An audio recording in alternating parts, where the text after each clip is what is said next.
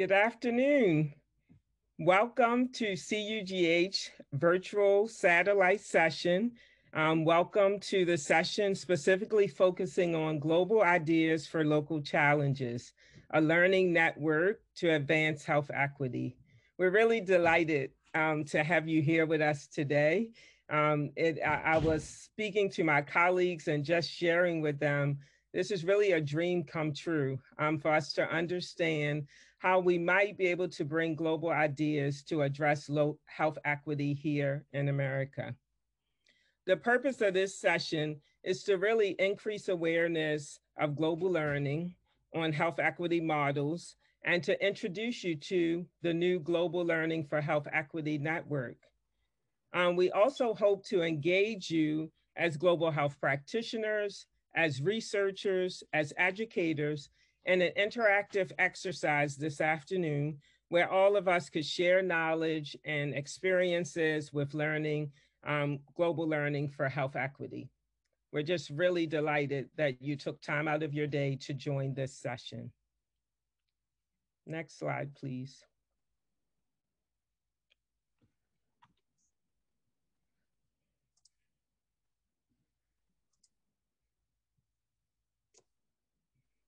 So next, we'll um, like to share with you a little bit about what to expect um, for the session and the agenda.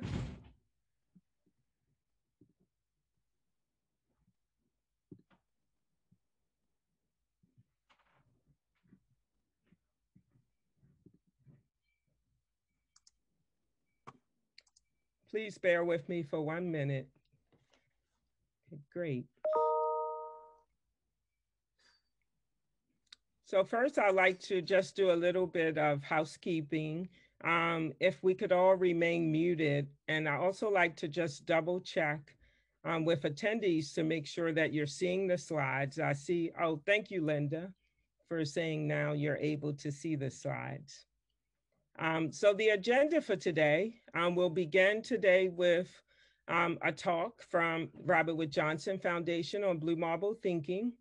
Um, from 1:15 to 1:30, um, Virginia Rowthorn and myself will introduce you to the Global Health, Global Learning Health Equity Network. Um, we'll also have some interactive exercises. Um, in the middle of the day, we're really excited to be able to share with you um, five global learning projects. Um, so you'll get to hear a little bit about some researchers and program implementers in the field that are engaged in global learning to advance health equity. Um, we'll have an opportunity for you to have Q&A with the panelists. Um, and then the afternoon, we'll have breakout sessions where we'll have some interactive ex exercises. So we're just really happy to have you here. Um, and with that, I'll say thank you. And I'd like to introduce our first speaker. We're delighted to have Karobi Acharya, who directs the Global Ideas for U.S. Solutions portfolio at the Robert Wood Johnson Foundation. This portfolio draws inspiration from how other countries are advancing health equity and well-being for all members of the society. It also identifies the best practices in order to adapt them and to improve health and well-being in the United States. Karobi is a public health anthropologist, and she has worked over 20 years on international health and development issues in over 10 countries. Previously, she was the global director for Ashoka, a network of social entrepreneurs worldwide, where she led Ashoka's efforts to document the system changes that Ashoka Fellows achieve. Prior to Ashoka, she worked for the Academy of Educational Development, where she worked to bring community voices and perspectives into policy and program design. She was also on faculty at the Johns Hopkins University, School of Public School of Hygiene and Public Health. Karobi holds a Doctor of Science degree from the Johns Hopkins School of Hygiene and Public Health and is a Donella Meadows Leadership Fellow. She enjoys crossing boundaries, both conceptually and geographically, and practices um, what we call blue marble thinking every day. Um, with that, I'll hand over and thank you so much and welcome uh, Karobi to our session. Thank you so much, Yolanda, and uh, good afternoon, everyone. It's it's great to to be with you virtually. Um, so I'm excited to be um, to be with you today. Um, we're going to be taking a quiz together. I, I feel a little like a school teacher, um, but don't be nervous. We will be grading on a curve. Um, but before diving into the quiz, I wanted to give you a little context into how it fits into our work. Um, next slide, please. So at the Robert Wood Johnson Foundation, we work alongside others to build a culture of health, providing everyone in America with a fair and just opportunity for health and well-being. We know that to help everyone in our nation have the opportunity to live the healthiest life possible, that we need the best ideas that the world has to offer. Next slide, please. To this end, our Global Ideas for US Solutions team supports organizations to uncover ideas and solutions from beyond our borders and to learn from programs, policies, and practices that have worked in other countries and open up our imaginations to new possibilities in the US. Next slide. We also recognize that there is a huge opportunity for others to follow suit and discover the value of global learning in their own work. So a recent survey of US foundations that was done by Candid showed that 73% of respondents reported that their domestic grant making were rarely or not at all informed or inspired by ideas beyond the US borders. So rather than telling people that global learning is valuable. We wanted to create a simple tool for people to reflect on their own experiences and discover for themselves how their exposure to the rest of the world might influence their thinking. Next slide, please. So how many of you are familiar with this photograph? It was taken in 1972 by the crew of Apollo 17, the last lunar landing mission. It's called the Blue Marble and seeing the world from afar for the first time shifted both the astronauts and our own perspective in profound ways, revealing the many connections that we can see when we take a step back from our home. Similarly, when we leave our country, either literally or these days more often figuratively, we can look back and see our home, our work, our challenges and our potential solutions with new eyes. And we've come to call that work blue marble thinking. So just to give you an example, about five years ago, I went to Cuba as part of a study tour with MEDICC. Uh, many of you will know that Cuba has a lower infant mortality rate and higher life expectancy than the US. And we thought they must be doing something right. Oh, sorry, next slide, please. Uh, Cuba uses every resource they have when it comes to health. We visited a park that was being used by a school for PE. It was used by pregnant women for an exercise class, and by this group of women in their 70s for Tai Chi. And this hit a chord with one of the Americans in the group uh, who worked in a hospital. She said, You know, there's a park right next to my hospital and I've got a friend who's a Zumba teacher. The Americans on the study tour all worked in very under resourced parts of the US, and they came away saying that they would never complain about a lack of resources again once they saw how little the Cubans were doing. I mean, sorry, how much the Cubans were doing with so little. And I kept wondering, why did we have to go all the way to Cuba for this woman to quote, see the park that was right next door. To really, why did we have to go to Cuba for her to see the connection between the park and the hospital? And so that, that story to me is an example of blue marble thinking. Next slide, please. So inspired by this idea, we created the Blue Marble Quiz. It's a simple 12 question quiz that allows people to step away from their day-to-day experiences and reflect on how they may or may not experience the rest of the world and then how that might influence their own thinking and where they look for good ideas.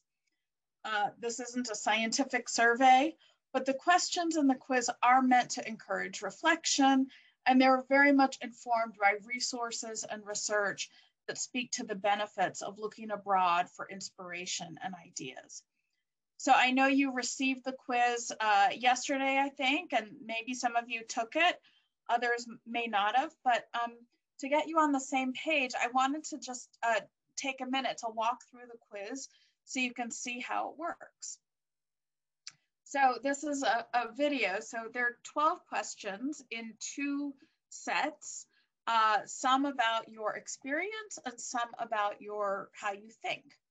So the first set is your experiences, where you grew up, and and um, recognizing that not everyone might have access to the same experiences. So the first question, how are you connected to various countries and cultures? Really just thinking about, um, you know, you grow, this person knows a lot about their ancestors and where they lived, um, and that they've got family who lived in another country. Um, how many people from different countries or cultures do you have close ties to? For this person, it's, it's quite a few. Um, and how many countries have you visited? Again, the, the, this, there's no judgment here. This is just about your own experience. And then once you get to a country, what do you do? What kinds of experiences do you have? My personal favorite is to go to a local grocery store, uh, but do you go to parks and playgrounds, sporting events? Do you eat the local food? What is your experience once you are in that country?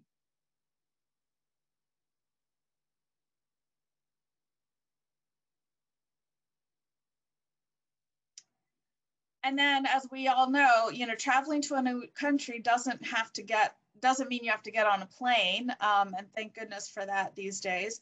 So what are the other ways in which you learn about countries, whether music or food or doing research, watching movies, things like that. And then where do you get your news? Uh, how often are you uh, learning about other countries through the news? So now this next set of questions is really around your thinking um, and how your thinking uh, influences where you look for solutions. So really interesting question. Are you more similar to someone from your own country with a different income or someone from a different country with a similar income? Um, it's a, I think, a fascinating question. And then what are, what are some of your kind of knowledge about the world um, some of these sort of big big ideas. What do you what do you think?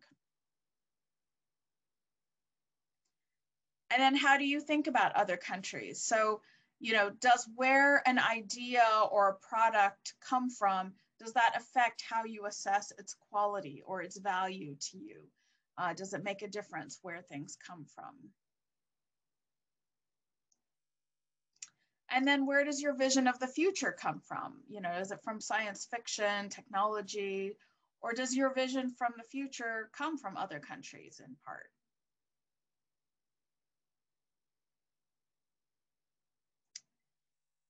Here's the blue marble again. What do you, what's your starting point? Do you look for your own country? Do you look at the whole thing overall? Um, how do you, how do you start with this photo?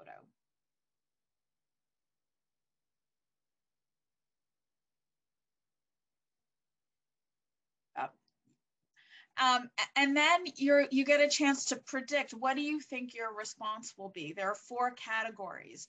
Um, how, how much are you thinking and, um, and learning globally? And you get a chance to predict what you think your response will be. Oops. So this person is predicting that they are blue marble all the way. And in fact, that is the way their answers did, did come up that they are blue marble all the way. So that matches. Um, and then what we do is we go into sort of all of the possible, there are four possible results and you get a chance to kind of look at that. Again, this is very much trying to acknowledge different places where people are. It's not intended to be judgmental at all. Um, and then we share a bit about why we asked the different questions and provide some resources. Um, so for example, on how many countries you visited, we reference Adam Galinsky's work on uh, the benefits of living abroad. Um, so there are some fun things like Radio Garden, which uh, allows you to listen to radio uh, from anywhere in the world. Um, then uh, this is uh, this is about different income levels. Dollar Street is a really cool platform that looks at different income levels across the world and sort of the material goods of different families at different income levels across the world. And then in terms of your perceptions of the world, uh, a couple of the resources are two really cool TED Talks, one by Hans Rosling and then my all-time favorite TED Talk by Chimamanda Adichie around the danger of a single story. And um, yeah, so there's lots of resources. And then, um, you know, after you take the quiz, we encourage you to, to get engaged with some of the RWJF work. We have a webinar series. Um, we would love to hear uh, how you might use it. Um, about 3,000 people have taken the quiz so far. Um, so um, would love to kind of think about how you might use it. I think you can go to the next slide.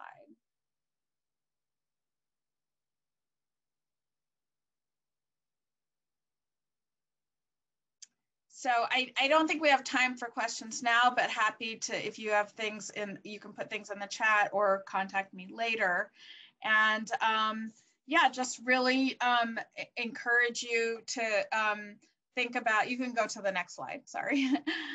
um, to think about whether you, you see an opportunity to use this in your own organization or meetings or classrooms or things like that.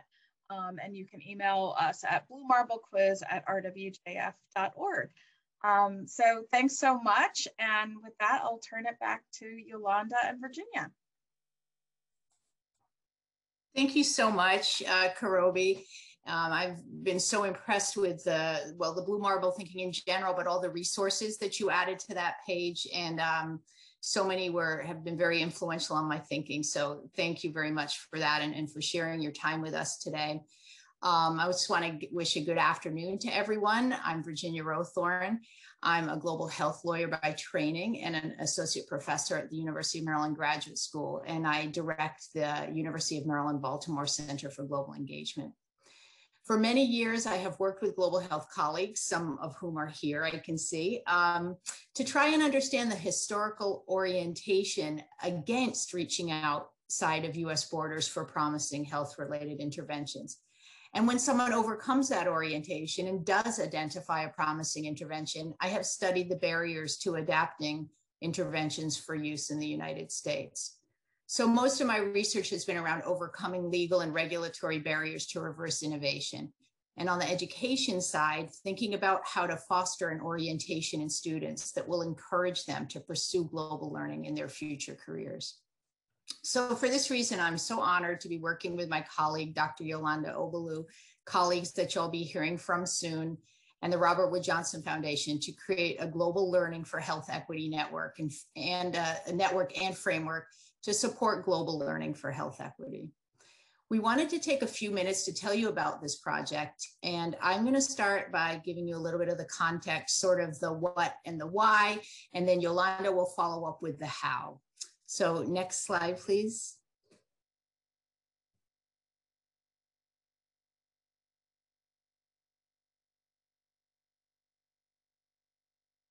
Thank you. Um, so I do um, want to clarify from the outset that um, we're using this concept of global learning uh, because it's used in similar but different ways across educational and, and global health uh, circles. It's also, of course, called global local, global to local, and that somewhat awkward term, global. Um, but I wanted to just clarify some of these definitions and tell you the term, the definition we're using. So in higher education, especially in the education abroad and the service learning context, um, glocal learning is has one set of meanings and, and they it's often they use this definition of the process of diverse people collaboratively analyzing and addressing complex problems that transcend borders. Then in global health education, and you see my name after this, I, I gathered a, a, lot of people, some here today, to talk about what uh, global learning was in the global health education context. And we developed this definition, teaching a global perspective or understanding of transnational health issues, determinants, and solutions, and applying them to a healthcare problem at the local US level. In the research and implementation science, you can, you, a common definition is the translation of interventions and programs developed outside the US um, for adoption, adaptation, and implementation within US communities. But the definition that we're using, or the concept of global learning that we're using in our project, is, is specifically to advance equity. And the way we're thinking of it as looking at examples of how global, global counterparts are tackling equity in a variety of, of areas that affect health and well being and asking questions such as what programs have worked uh, in other countries, how are they evaluated, and how could they be adapted for use in the US to achieve health equity. Next slide, please.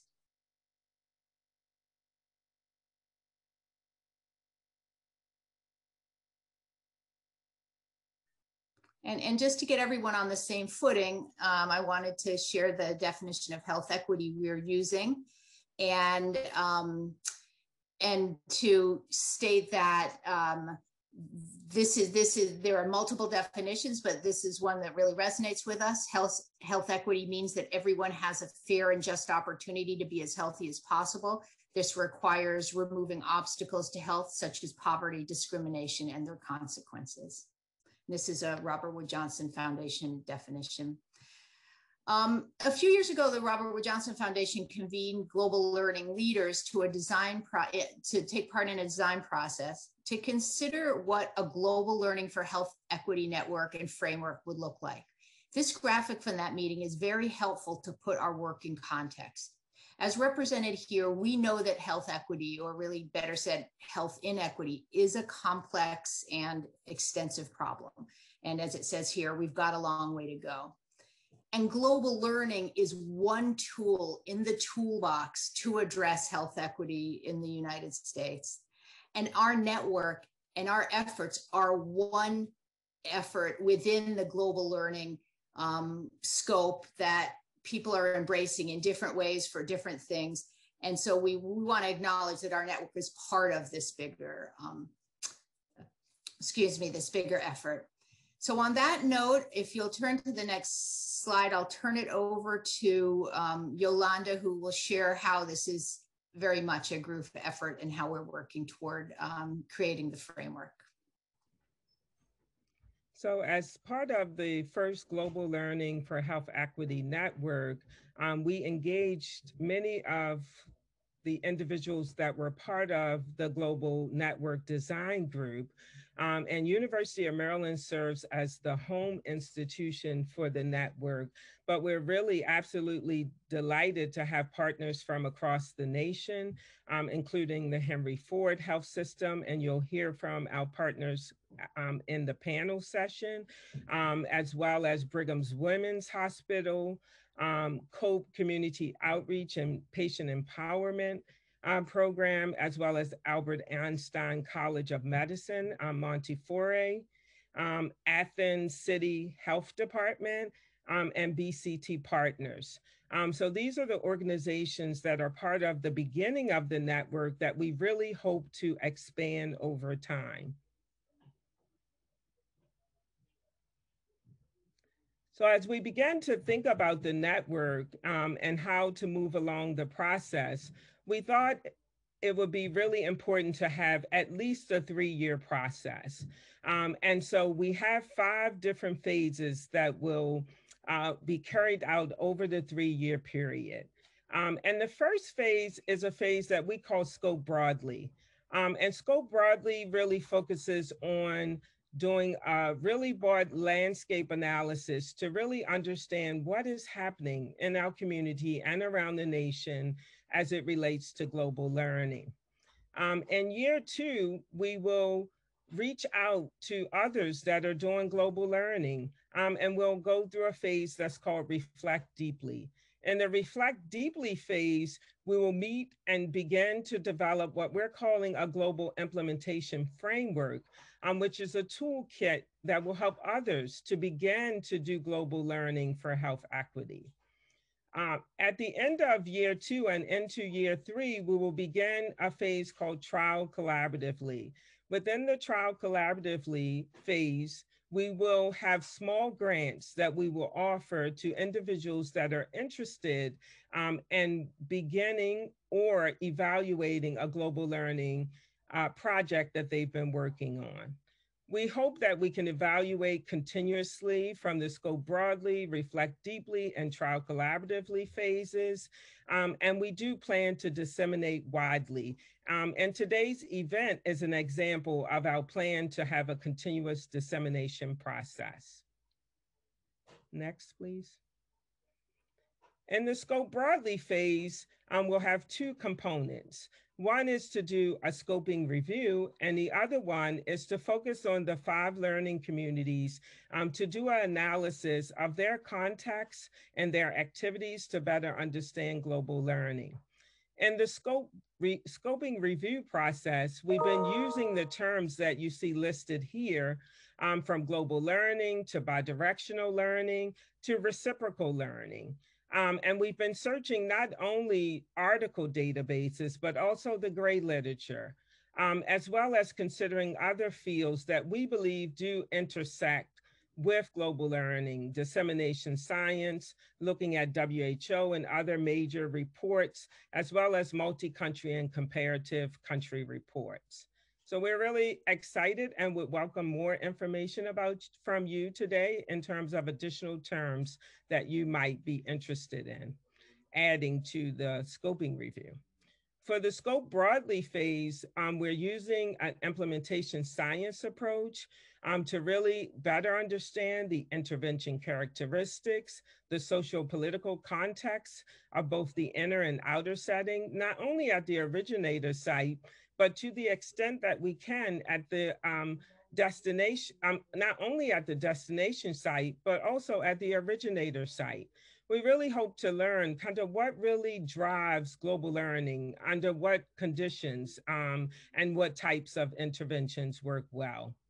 Um, we will be able to share more information specifically about the strategies, both at the originator site and the destination site, um, including community engagement strategies. One thing we know about global learning is we find an intervention at a global place and we will adopt and adapt that strategy. Um, but at the same time, there's also some bidirectional learning. Um, one of the things that's been really interesting, and we'll talk about later, is that global learning not only benefits the destination site, sometimes they also benefit the originator site. In terms of outcomes, we would like to understand better what outcomes have been measured, um, specifically health equity measures. Um, we do know that there are many studies that measure acceptability and feasibility, um, but we're interested in learning if others have gone even further to measure effectiveness and reach. Um, and so we hope to be able to capture some of this knowledge about global learning as we move forward with the network. Next slide, please.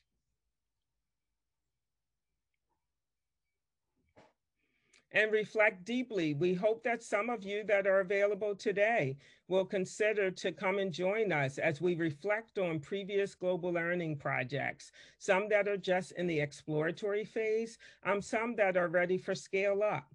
Um, we will select learning communities to join the network and to help us pilot test the global implementation framework that we will develop um, based on what we learn and scope deeply and reflect um, reflect deeply. We will host an international convening of global learnings, learners so that we can work collaboratively together to develop the implementation framework, which we're calling a toolkit that someone could pick up and say, this is how to do global learning. Next, please.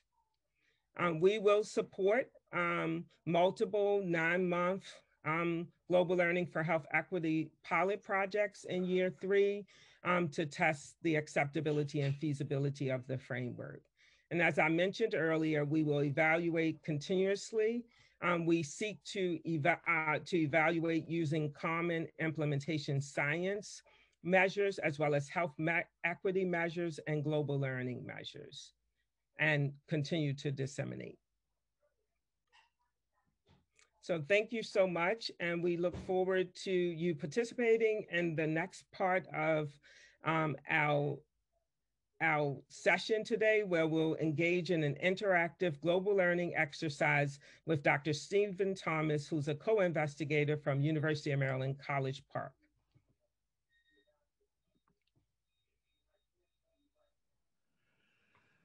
Hello, global learners. Dr. Yolanda, can you uh, hear me okay? Yes, I can.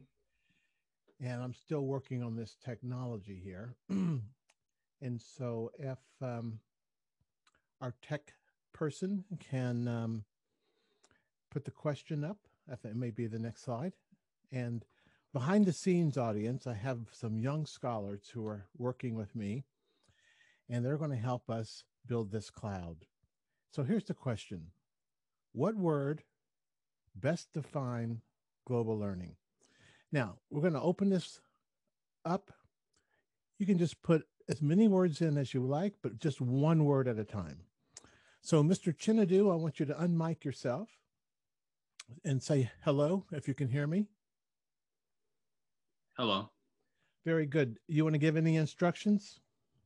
Yeah, so I just put a link into the chat. Everyone's going to go to that link. Um, and once you click on it, it'll take you to a page with the question and you'll just fill in uh, the question box. And again, as many words, just one word at a time, and go ahead and begin. And I believe somebody's going to share the screen so that we can. It says uh, you need to sign in. You can just be a guest. Don't worry about that. You don't even have to put your name. You can skip. Yeah. And if somebody could share screen so we could actually see it build, is that going to happen, Chinadu, on your screen? Here we yeah, go. I'll share my screen now. Here come the Hollywood squares. It's so good to see everybody out there. And uh, and so go ahead and keep putting in your words. And uh, Dr. Yolanda, you know, let's talk about just what you're seeing as these words come in. Yeah, I I love this. The first ones that popped up: openness, collaborative, humility, this is really interesting. And so, for the uh, audience out there, again, as many words, just one word at a time. And the larger the word, that means the more people who also said that. So let's keep this going. And uh, Dr. Yolanda, just call on any one of your other speakers and just have them speak to what they see here. So, um, Sonya Shin, would you unmic and speak to what you're seeing here relative to what we might have expected?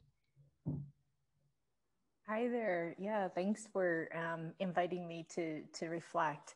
Um, first of all, I just see a lot of uh, compassion and humanity. So I feel like, you know, it's a it, my my my sense is that we're talking about the relationships um, that um, allow learning to happen um, with global communities, as opposed to, you know, necessarily um, like say you know um, a, a, health measure or um, like a research outcome. So i think that's you know just very powerful that um, uh, that's what's standing out to me.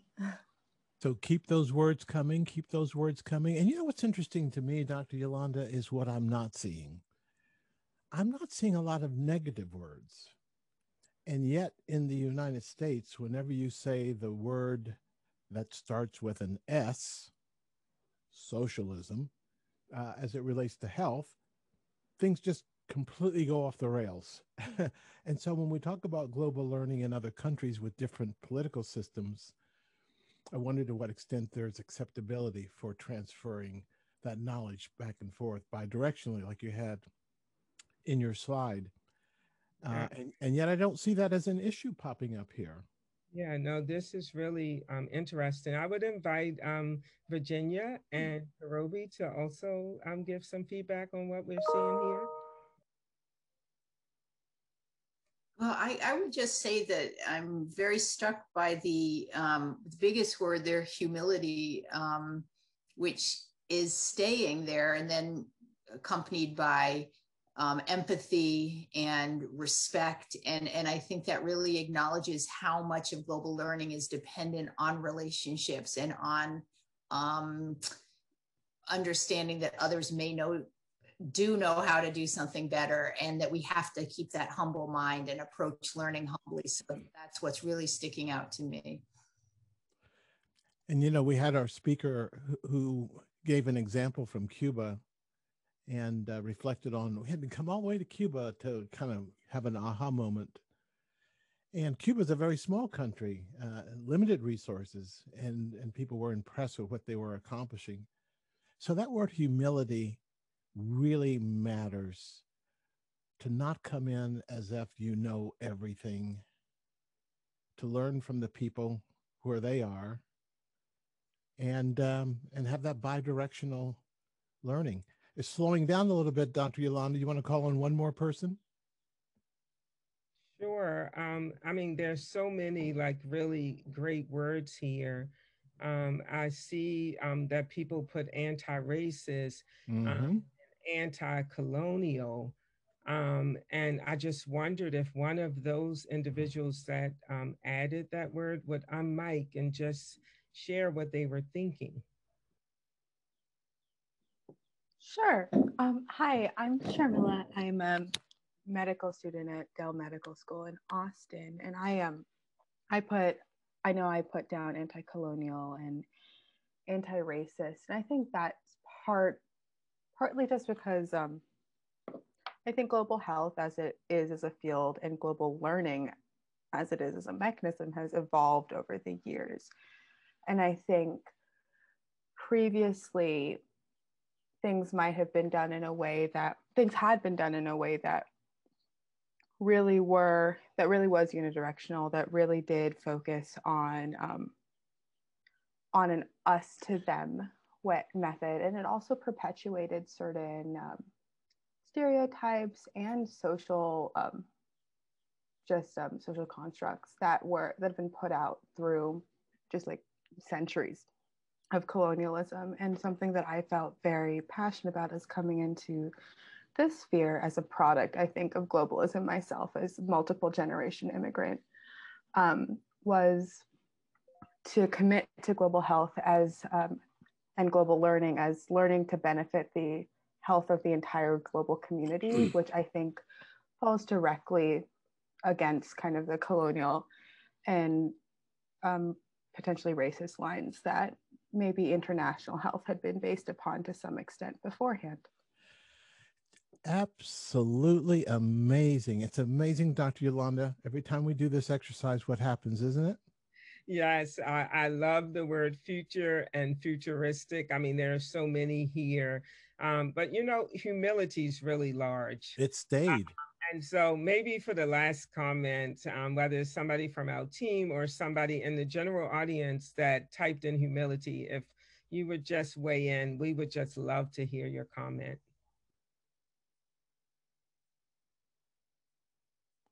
There's more than one of them out there as big as that word is. Uh, good afternoon, everyone. This is, um, my name is Elsie Asian. I'm the one who um, entered humility as one of my word. Um, and I've been working in global health for years now. And I, um, what I see from trainees and well-meaning expats is that sometimes they go in thinking that they are the experts. They have the tools, they have the knowledge. And it's important to practice humility and also practice narrative humility in terms of hearing what the other people um, abroad have to say about their condition because they may not have the expertise or the tools or the technical tools, but they they have an idea that can be contributed to the greater cause. Oh, Dr. Yolanda, you have no idea how excited I am to hear that explanation of humility because Elsie is one of my fearless young scholars. She's the future of public health. And that's what we're producing with the next generation. So with that, Dr. Yolanda, I'm going to turn it back to you uh, to, to bring us back to Hollywood Squares. Thank you for that. And I, I hope, um, Stephen, that you're able to share that wordly with the audience because I thought that was really powerful. Thank Indeed. You and you'll also find that the recording of the conversation that goes with it is something that you can extract out while that cloud is building. So uh, Chinadu will have that uh, word cloud for us. And I took a, a, photo and a screenshot. I'll send that to you immediately. And uh, just want to thank the audience for their honest uh, assessment and and the and the analysis that came with it. Thank you. And you'll meet some of my other young scholars in the in the breakout rooms a little bit later. Thank you all very much.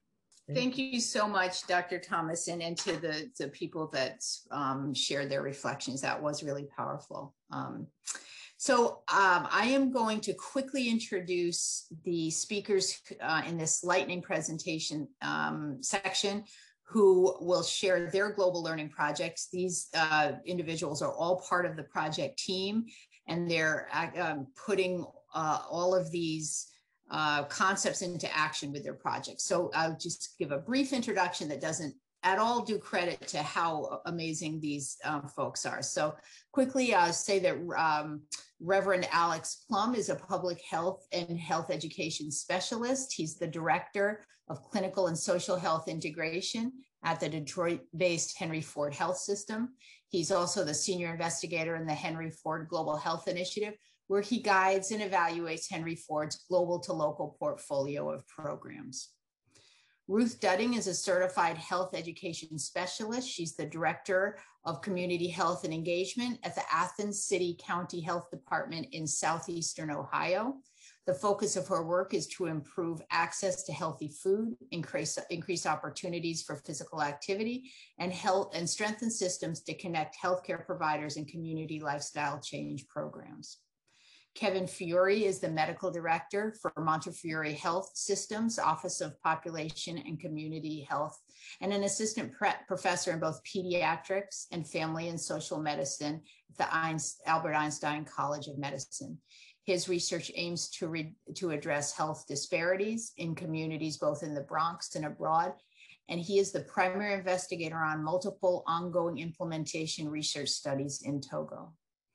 Carmen George holds a Master of Science degree and is from a small community on the Navajo reservation called um, Beclabito. I hope I got that right, Carmen, in New Mexico. Carmen has an uh, has been at the Community Outreach and Patient Empowerment COPE project for over six years and serves as the research and MEQ manager.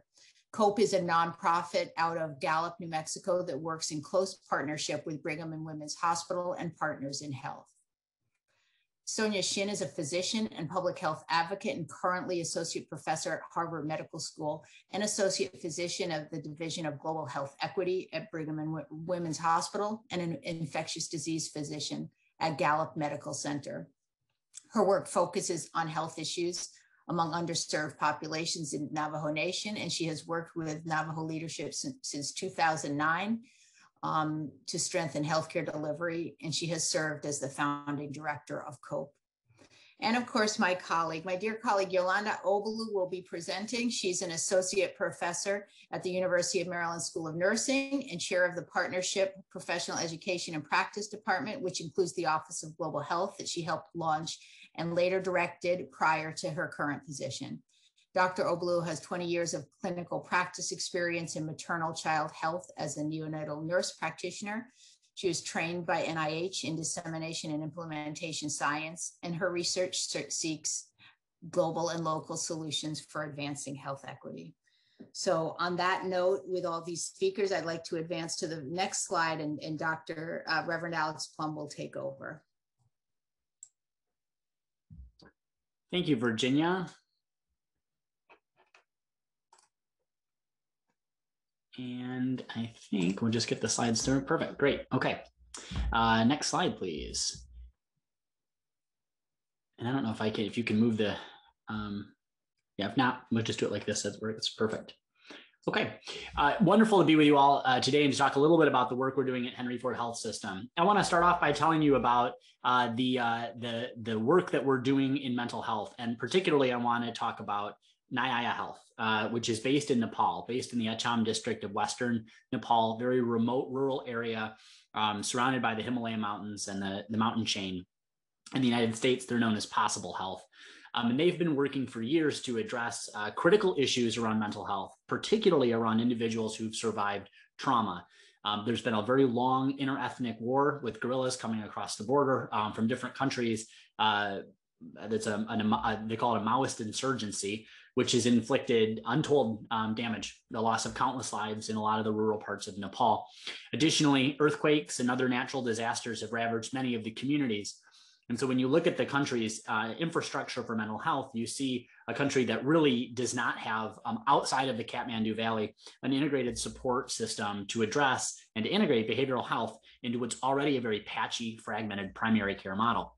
And so Nyaya Health developed a community mental health worker model where they train community health workers in motivational interviewing and in certain modules or modal, uh, excuse me, modalities of um, cognitive behavioral therapy to drive behavioral health integration at rural remote and rural primary care health outposts. So we got to know um, Health, and I'll talk a little bit about our relationship to them through the work that Henry Ford has led internationally with our global health initiative. Um, but as we got to know them, we, rec- we recognized a lot of similarities in terms of disinvestment, history of trauma with the individuals in Western Nepal, a lack of access to infrastructure, lack of access to healthcare, to integrated healthcare, and particularly to behavioral health, um, among patients uh, who are on Medicaid in, in Michigan uh, or who otherwise lack access to health insurance and, and struggle to afford it. And so what we saw was a, a, pretty strong connection between residents of the city of Detroit who shared a lot of that trauma background. It, may, it might look different, but but mental health trauma was very pronounced, especially in light of the um, in, in light of the economic devastation which has befallen Detroit, its bankruptcy, um, and a, a you know decades of disinvestment in the city as well as the fact that the city of Detroit has a very disconnected infrastructure network, poor transportation for folks who can't afford it, some of the highest rates of car insurance and auto payments in the country.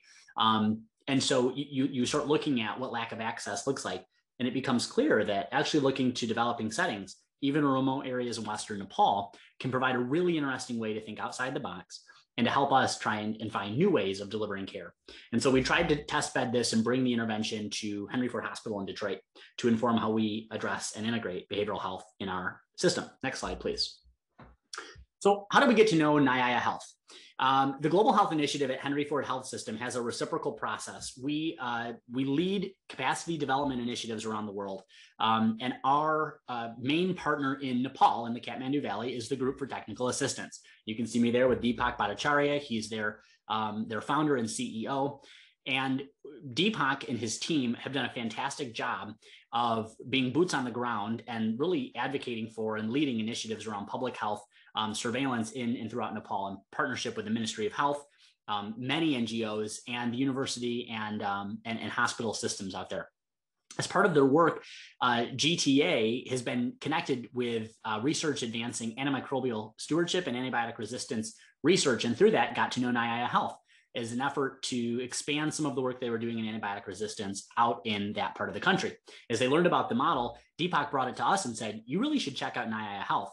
Um, Possible Health, their, their US counterpart, I had been connected with so, sort of serendipitously through some conferences that we'd attended uh, in partnership with Duke Innovations in Healthcare, uh, Duke University, which helped us kind of vet and do some matchmaking with Nyaya and Possible Health to understand better how, with our partnership with a group for technical assistance in Kathmandu, we could understand how to partner together, learn from the intervention that's been successful, and understand whether or not it made sense to have a reciprocal relationship to bring the model from Nepal to test in Detroit, and in return, to support capacity development opportunities that were identified by and led with and alongside our partners at Nyaya and the Group for Technical Assistance. And so this burning platform then provides us that reciprocal model that we've been talking about, that Karobi introduced when we talked about blue marble thinking, and that came up repeatedly in our word cloud, um, which is the opportunity to really create these partnerships that create bidirectional opportunities for learning and programmatic transformation. Next slide. So some of our implementation partners, um, I mentioned Nyaya Health, and obviously uh, they're the ones who are leading the effort to help um, pull in the community health workers and other community members who've been part of the intervention, who've really defined what the needs look like in Western Nepal and how training is to take place. They in turn then have helped create uh, a series of modules, which we're putting into practice now to train the um, population health coordinators at Henry Ford Health System who work with our behavioral health integration program, which I'll tell you about in just a second the other community partner I want to name is our Henry Ford Patient Advisory Council. Now, we have several of these councils across the health system, but our population health and our behavioral health councils are bring together the voices of patients who are often high cost, high need patients, folks who maybe we could define in the healthcare world as super utilizers because of repeated visits to the emergency department, but who are compensated by the health system to participate in focus groups and other studies with us to, to, to give feedback, to vet materials, and ensure that the work that we're doing is driven by local needs and defined by specifically the needs of our patients. So part of those councils helped our behavioral health team about three or four years ago identify a need to integrate behavioral health services across primary care so that any patient who comes to any primary care setting at Henry Ford Health System has the opportunity to be screened for behavioral health conditions. And if they screen positive and desire it, they can receive a same or next day behavioral health appointment at the setting of their doctor's office. Uh, they also have the option to do it virtually from the comfort of their home if they're equipped to do that. But we found it was much easier to get patients to come into the doctor's office where they had an existing relationship than to try to come into a centralized behavioral health office or a practice that specialized in that, which often was difficult to travel to. It may not be close to where they live. As we got that project going, and that's now been scaled over 40 different primary care clinics across the Henry Ford enterprise in southeastern Michigan, we discovered that we needed to include the next component of community health work model, the model of navigation of population health support, screening for the social determinants of health, and really understanding how those challenges inform the patient's experience, not just with primary care access, but with their behavioral and mental health conditions that they've identified as a need that they want support with. And so finally, we've partnered with our community mental health in the state of Michigan. In Michigan, the safety net mental health care system is very fragmented. And in fact, if you're on Medicaid, you're, you're really we're not allowed to, to pay to provide reimbursable behavioral health services for our patients. That has to come out of our community mental health program which in detroit is the detroit wayne integrated health network. But they've been a good partner to us to understand how we can share responsibility for the needs of these patients and have been willing along with the state of michigan to pilot results that we have from this program so that we can continue to spread the good lessons of how uh, integrating community health workers and particularly the model from nepal informs a really integrated primary care driven behavioral health approach. Next slide. So we've extended our social determinants of health screening and assessment as part of this work. Uh, we've heard from our patients left and right um, how important it is to have a trusted face, a person that is um, emblematic of the community, that resonates with the needs that they have, that speaks their language, that understands um, their needs. And so we've, we've looked high and low to find CHWs and population health coordinators that can fit that role um, and can meet patients where they are. In fact, we our target demographic for our pilot on this was in Hamtramck, Michigan. Hamtramck has a really high uh, percentage of immigrants from Bangladesh and from Yemen. And so we made sure to find uh, uh, a um, a uh, community health worker that we've trained and deployed who can speak both Bengali and Arabic uh, who grew up in Hamtramck and so is really um, able to speak to those needs and is able to really reflect back to these um, the patients that we're serving a true community voice and advocate in the case uh, in their care. So we found really great remission maintenance with our low to moderate mental illness. Uh, the program is not designed for individuals with severe mental illness um, because it goes a little bit beyond the scope of training that we have for the therapists and for our coordinators. We've seen 125% increase in our SDOH screening and assessment. And we were already doing really well on this. So to see that level of a jump just went to show how important it is to have that resonant um, person who can really, again, meet you on that level and speak with those, speak with that level of integrity and partnership and trust. Uh, 40% decline in relapses and reentry into our behavioral health integration program, which is great because our, our ideal situation is uh, someone meets them on the front end. They then the patient goes into the behavioral therapy with a trained behavioral therapist, and then when they finish and they hit remission, they're back to that community health worker again to resolve and address any of those SDOH needs that come up after the fact. So that we're we're working on food, we're working on housing, we're working on transportation and safety and employment and everything else, so that those don't become drivers for relapse or for for triggering those challenges that patients have, have now been able to hopefully manage and continue to manage well. challenges we're still continuing to work on um, how we reimburse for this service and how we get that added um, care team member um, covered either through value-based contracts which we do directly with with some of our commercial and uh, Medicare Advantage um, payers, but also on a fee for service basis, if and when that's possible, uh, through the collaborative care model, which we are still in the process of um, developing. And so, in conclusion, uh, last slide, I will uh, just say that you know our our goal in this always is to um, is to focus on advancing health equity, and we do that in partnership with the Detroit Community Health Improvement Project, um, who have told us time and again that mental health is a top concern. In fact, the top three concern for city residents who've been participating in that CHNA process. Um, we know the social safety net is overburdened, especially with, when it comes to mental health. And we know that we continue to see revolving doors, especially in Michigan in the hospitals, with individuals who are moderately to severely mentally ill. So we have to do everything we can. Um, we know that these issues affect Detroiters who are Black more than anyone else in our city. Um, and you might say, well, Detroit's a majority Black city, and that's true. But when you look at outside of just those factors alone, it's a disproportionate burden that African Americans in our city, and namely in our region, uh, experience related to this. And so, if we aren't taking seriously the disproportionate burdens and also hearing what folks are continuing to tell us, we have to be thinking in creative ways to deliver these services. It's even more powerful to be able to leverage Nyaya's work and their model and to ensure that reciprocal commitment as we do this work together. And I'll look forward to talking more about that in our breakouts and answering questions later. Thank you, Alex.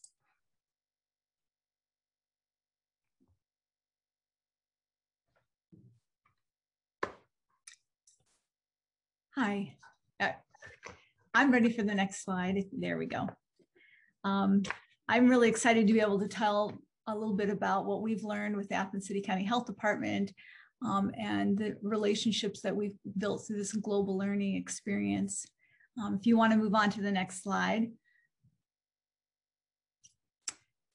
About four or five years ago, I guess it's five years ago now, in 20, the end of 2015, early 2016, we were inv- invited by the Robert Wood Johnson Foundation to participate in an international exchange on social participation and health. And this is with, um, in collaboration with the Training and Research Support Center. Um, five US cities were invited to work with 12 international sites. Um, and there, there are more listed there because many other partners that these partners knew became engaged in the conversation. And the goal really was just to support this um, opportunity to talk about cross, um, you know, international exchange, these approaches of social participation in health and what we could learn from other countries um, in the US. So next slide. The at the beginning, the invitation uh, to participate was really around a specific issue with social participation that we were concerned about. And at that point in time, um, Athens County is a very rural community. It has the highest poverty rate in, in Ohio. And we were really looking as a public health organization at how we could use community health workers to kind of bridge the gap for healthcare services and just a connection to community resources. So we really walked into the project wanting to learn more about how community health workers were recruited, what was their role, um, how were they supported. So we had a lot of questions coming in, but at the same time, we had other questions too that we had kind of on the side thinking about um, addressing poverty as a public health issue and, and how to shift existing resource streams to benefit local and smaller communities. Um, we too were working on connecting clinical health systems and community resources. So building a bi-directional referral system um, was kind of in the back of our mind as well. And of course, well, you know, we uh, we're working all the time at trying to provide healthy food, physical activity um, for our local residents but we also wanted to engage more community members on, on coalitions and um, improve kind of shared decision making with, with the public health organizations that we have here. And then lastly, we all public health departments in Ohio are required to go through an accreditation process and community engagement is a pretty significant part of that process. So we, these are all the things that were kind of in the back of our mind as we walked into this um, really unique opportunity to to first and foremost try to understand and build a community health worker program, but how do we address all these other public health issues that have been kind of in the back of our mind or that we are working with as well. Next slide. So initially, and, and I, I loved um, the Kevin's presentation too, because it, he really changed a system and that was our desire to change a system. Um, but, and, and we're working on changing that system. And my story is a little bit more personal um, because I learned so much. There was such a shift in my thinking as a public health practitioner about the way we do things and about what's possible. And so I just wanted to start really briefly talking about these these things that we learned and some of them completely unexpected. And I appreciated the word cloud because um, so many of those words kind of described the change uh, in me as a public health practitioner. Participatory budgeting was was something that we learned about. Several countries were using community or groups to help shape uh, budgets, local budgets that supported infrastructure and uh, policies um, and even health promotion activities. And so that was something that we were excited to kind of talk about. And I'll, and I'll share how we use some of these things in a minute. Reimbursement practices and policies that encourage social power in health. Many countries uh, have you know, reimbursement mechanisms that fund specifically about social power, or they have um, it's written into their constitution, or they pass laws, social participation laws. So those those kinds of um, policy pieces around community engagement were really interesting to us. There was a community competition in Ecuador in terms of community resources that I'll tell you more about that we loved seeing community health workers as advocates was a teaching moment for us as well. Um, we saw how communities or around the world held local health councils, where that, again, that decision making about health came from small groups uh, that informed larger groups um, and that were multi sector and multi level. So, again, making sure that all sectors of the of the community were represented on these councils that made informed um, recommendations and priorities to to uh, more more involved uh, decision making. And I also recognize my own lack of power in contributing to the state's priorities. Um, as a public health practitioner myself, I, I recognize my lack of power or my lack of engagement in being able to shape the budgets and priorities for my own community based on what what kind of funding streams kind of come to us as well. But I'll, I'll get to some of the outcomes here too. That'll continue on the next slide. Our community health worker program, with this idea and this learning about community health workers as advocates, uh, we were involved in a, in a program, community health worker program with three, three other, two other states. So uh, West Virginia, Kentucky, and Ohio. And some of our community health workers had the highest reduction hospitalizations, ERs, ER visits, and A1C. Our community health workers consistently were um, saw uh, like a 3.6 to 4% reduction in A1C compared to other community health workers. And I just, I know that that's because they, our community health worker focus was on um, advocacy. You can go to the next slide. And so we built the, uh, training models around community health workers as advocates and not as um, health care workers. Um, and I'd love to tell you more about that if we had more time. So I hope somebody asks me more about that in a breakout. Um, we had a community improvement challenge team competition. And at first it was just a competition, but we used the model in Ecuador where um, teams were building these multi-sector um, groups that that identify priorities and then we're able to use part of the local budget to fund those things. And we were able to get our local county commissioners to share some of the local budget unmarked unconditional to to address the the priorities of local communities. Public health accreditation um, age friendly communities all of these things we have been able to expand through um, the the things that we have learned through our our experience uh, with other folks around the world.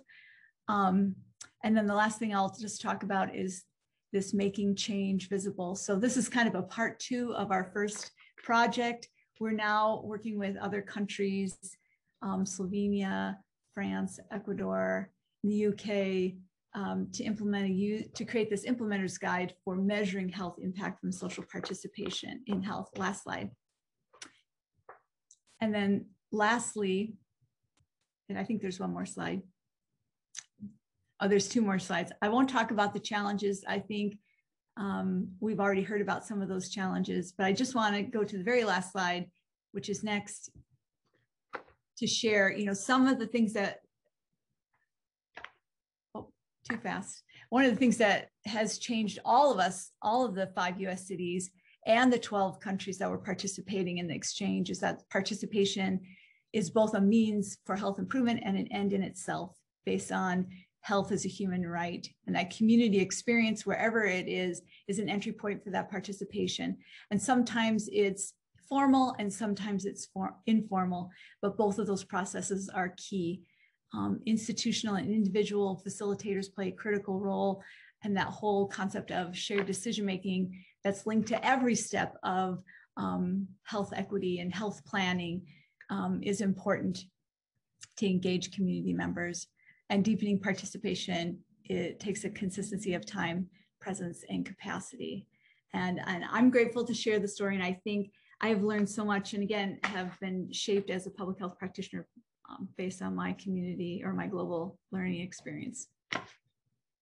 That was my lightning round thank you thank you thank you so time. much ruth. That's wonderful. I appreciate that. And now um, i believe uh, carmen you are delivering the presentation. We're we're looking forward to it.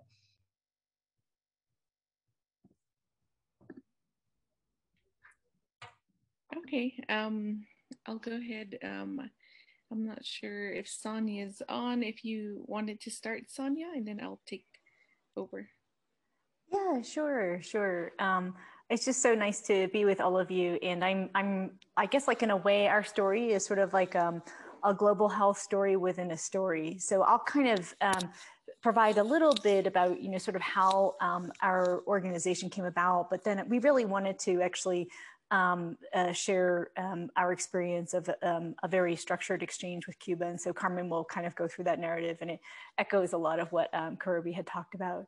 Um, so on the next slide, um, you know, basically um, what you can see is that um, COPE is actually part of a larger um, um, network, global health network called Partners in Health.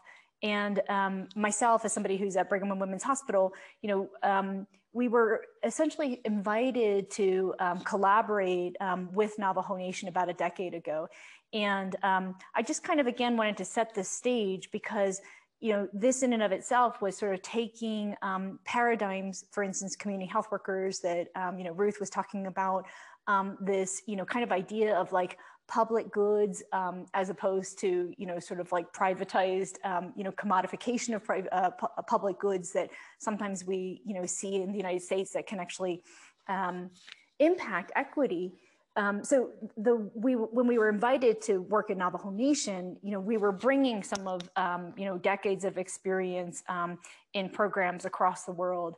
And um, I think one thing that's really important to, to note is that um, for Navajo Nation, you know, when um, what made them actually kind of want to work with us, you know, sort of what, why did they even invite us to collaborate?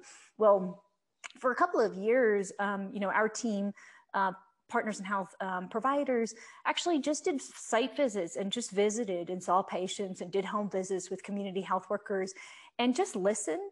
And I, I really think that that sort of, you know, kind of like um, uh, and I know one of the um, participants commented on this, like sort of like coming in without an agenda, you know, and just like sort of hearing and then thinking and reflecting to see, well, you know, are, is there anything that we could actually kind of offer um, to strengthen what's important to them?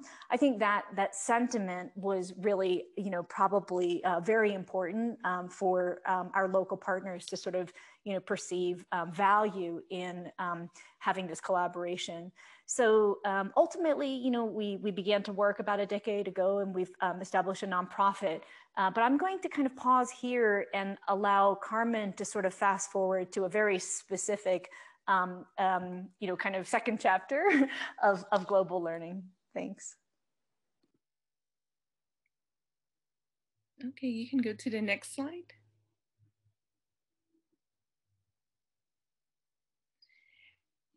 Um, just a little bit about, um, Sonya mentioned about um, MEDICC and um, I think we heard a little bit about that from Karabi. So um, I think everyone's familiar, but it stands for Medical Education Cooperation with Cuba. And um, since 2005, MEDICC has been um, doing community-based work in establishing these community partnerships for health equity. So um, MEDICC reached out to Navajo Nation and invited um, us as COPE also to participate in the Community Partnership for Health Equity program. And so there were other um, communities, like I said, that were already um, established, that already took some of these trips. And so what we did was we reached out to some of our partners um, around the Navajo Nation and we asked if they would be interested in um, participating in this um, partnership. And a lot of them were, and they um, applied um, to be a part of this program. And so the, um, the, the, the clinic that ended up being part of it is Four Corners Regional Healthcare Center. And so there it was doctors, it was um, community health workers, it was um, leaders, spiritual leaders um, that participated in this partnership. Um, go ahead and go on to the next slide.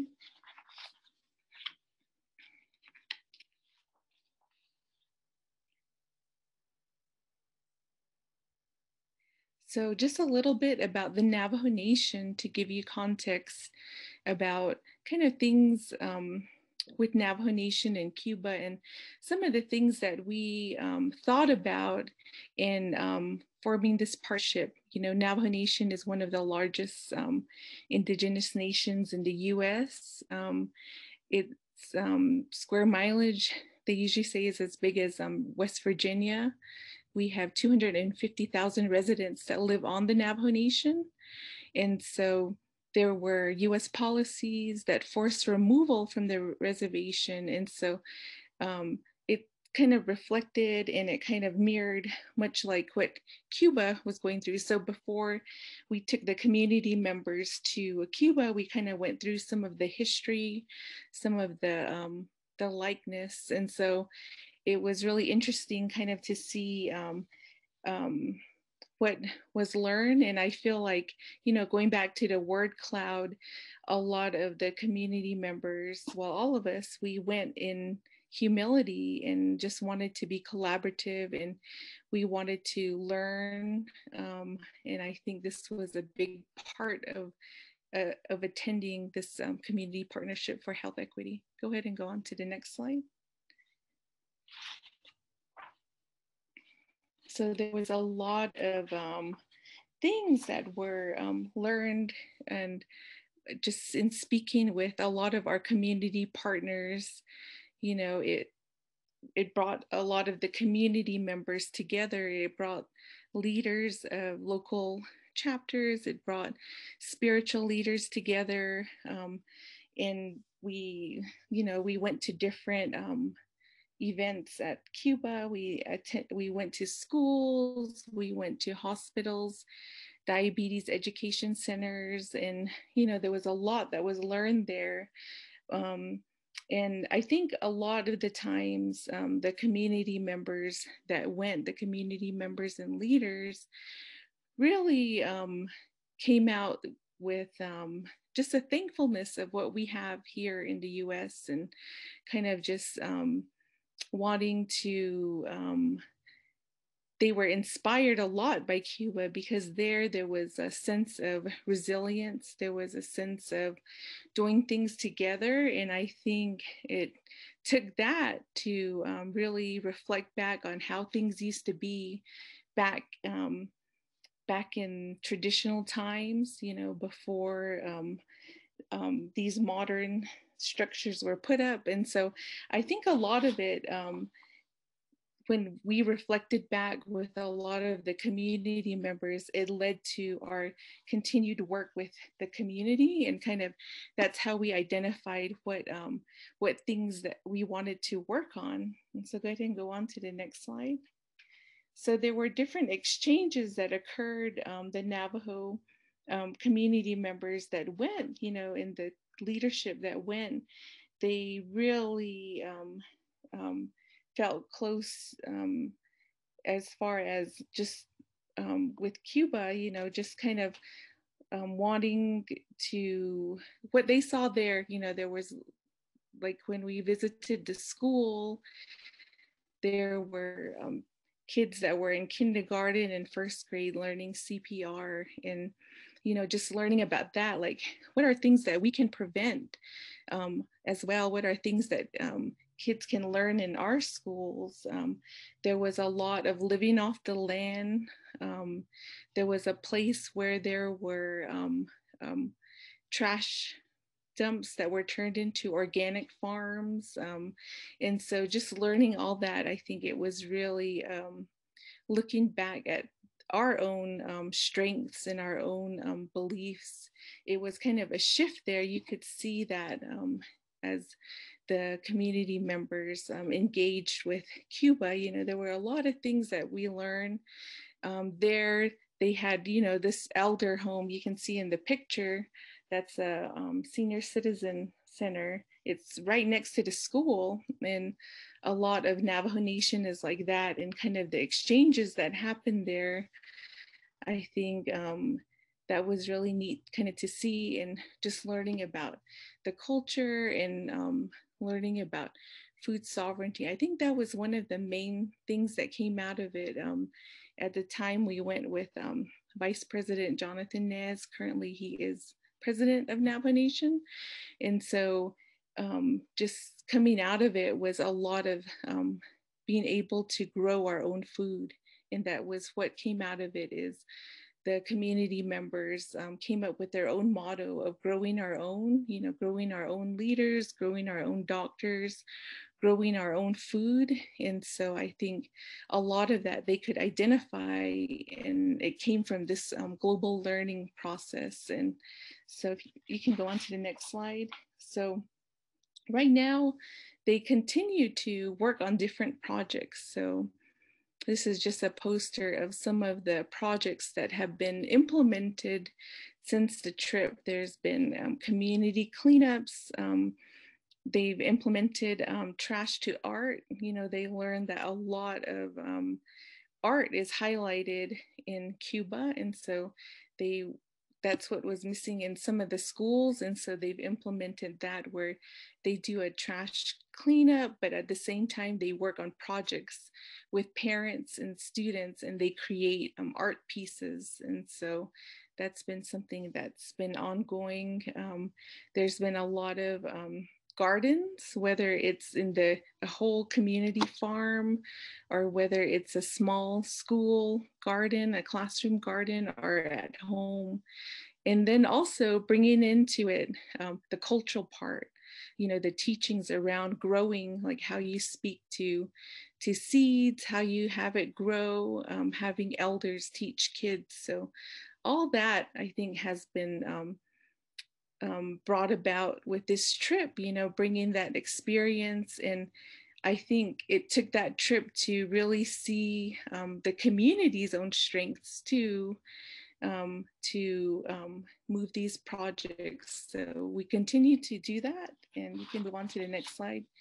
We continue to grow and learn and the um, CPHE team is a big part of our COPE organization. And I think one of the things that I wanted to highlight with this um, picture is that there, um, they have local um, heroes that they look up to. And when we were there, um, the the group was like, why can't we have our own local heroes? And so when we did this project about um, water and promoting water, um, they thought, well, why can't we find our own local heroes that kids can look up to that can drink water? And so this is kind of where that project led to. So a lot of um, the people that went are on some of our advisory boards and help us with our work. And so you'll always hear things that they've learned from Cuba and things not only from that, but what was brought out was the strength of our own community and our own people. And that I feel like came out of global learning. It kind of was a chance to reflect back.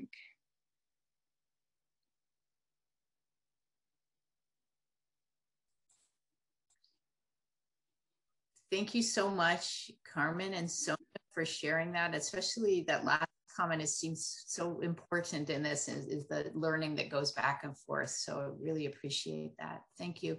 And now we'll have Kevin Fiore. Great. Thanks, Virginia. Thanks, Carmen. That was a great presentation. Uh, you can go to the next slide, Janet. So I want to take some time uh, to talk about two learning health organizations, one based in, and you can, I apologize in advance, Janet, these are, there's a bunch of animation, so hit it, hit forward. Um, one organization that is based in Northern Togo in West Africa, uh, it part, it's called Integrate Health. It partners with the Togolese government to help provide um, primary care uh, focusing on maternal and child health care. Right now, that organization is supporting over 200,000 patients at 21 village health centers. And at the foundation of that approach is the use of community health workers. Uh, advance.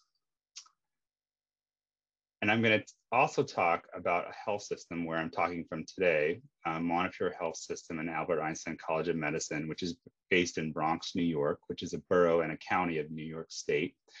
And that health system's um, goal of um, assessing unmet social needs in over 300,000 primary care patients uh, at 19 different locations. And again, the goal with that initiative is using community health workers at the foundation of that. Next slide, please. So I'm going to give a little bit more background about the, um, the destination site. So um, the initiative in the Bronx that looked outside the Bronx to try to uh, figure out how to address this challenge of integrating social needs screening and outreach into clinical practice. So one of the things we did is we invested in uh, a standardized social needs screen that we put into our electronic health record, Advance. Hit Advance like three times, I think, Janet. Um, it's a, um, a 10 item uh, validated questionnaire that we developed from Health Leads. It's integrated within our EHR. We've built out um, uh, uh, referral orders for providers to refer to community health workers. And we've also uh, advanced two more times. We've also uh, invested in an online social service directory. And we're partnering with our community-based um, uh, uh, community-based organization called the Bronx Community Health Network which recruits, supervises, and hires CHWs to work at our primary care sites throughout the Bronx. Next slide. So when this initiative was going on, one of the sites, a pediatric clinic in the Southern Bronx, decided to start a nested pilot. And the goal of that nested pilot was to optimize social needs screening using community health worker support. And one of the things we wanted to do was to identify core program implementation How do we do this in practice? And right away, what I thought was there are things that Rebecca, my colleague here from rural Pindi, does in Togo, advance, that my colleague Janet, pictured here, who works in the Bronx, can learn from. And the question is, how do you do this? What is the mechanism by which you could do this? Next slide, please. And what we did is we actually looked to a guide that was developed with um, a global um, perspective um, that is utilized, has been utilized, and was meant to accompany the, the uh, recent WHO Community Health Worker Guidelines that came out in 2018. And so this guide hit uh, advanced three times, please again. This guide actually gives um, different domains of how to how to um, optimize community health worker programs. It has a, a self um, judging rubric on the bottom from non-functional to highly functional. And what we did as a team is we just compared what we were doing in Northern Togo to what we were doing in the South Bronx. I hit advance a couple of times. sorry, Janet, you're getting your work uh, out of this. Um, and what we unsurprisingly found was that the Northern Togo program was outperforming the Southern Bronx program. And the question was, what could we learn from that? And we focused on four aspects data supervision, community involvement, and integration in the health system, and the aspects of what they were doing in Togo that were transferable to the South Bronx. Um, hit next slide, please. And just to fast forward to our results. So this is our health system, what I, which I had mentioned. So these are 18 primary care clinics. This is looking at how many active patients did they screen over the first 20 minutes of our program. And as you recall, we started at one of those clinics called CHCC. Um, hit next slide, please. This nested pilot, or hit advance, please. This nested pilot, and it outperformed by a lot. 81, it screened, oh, one back.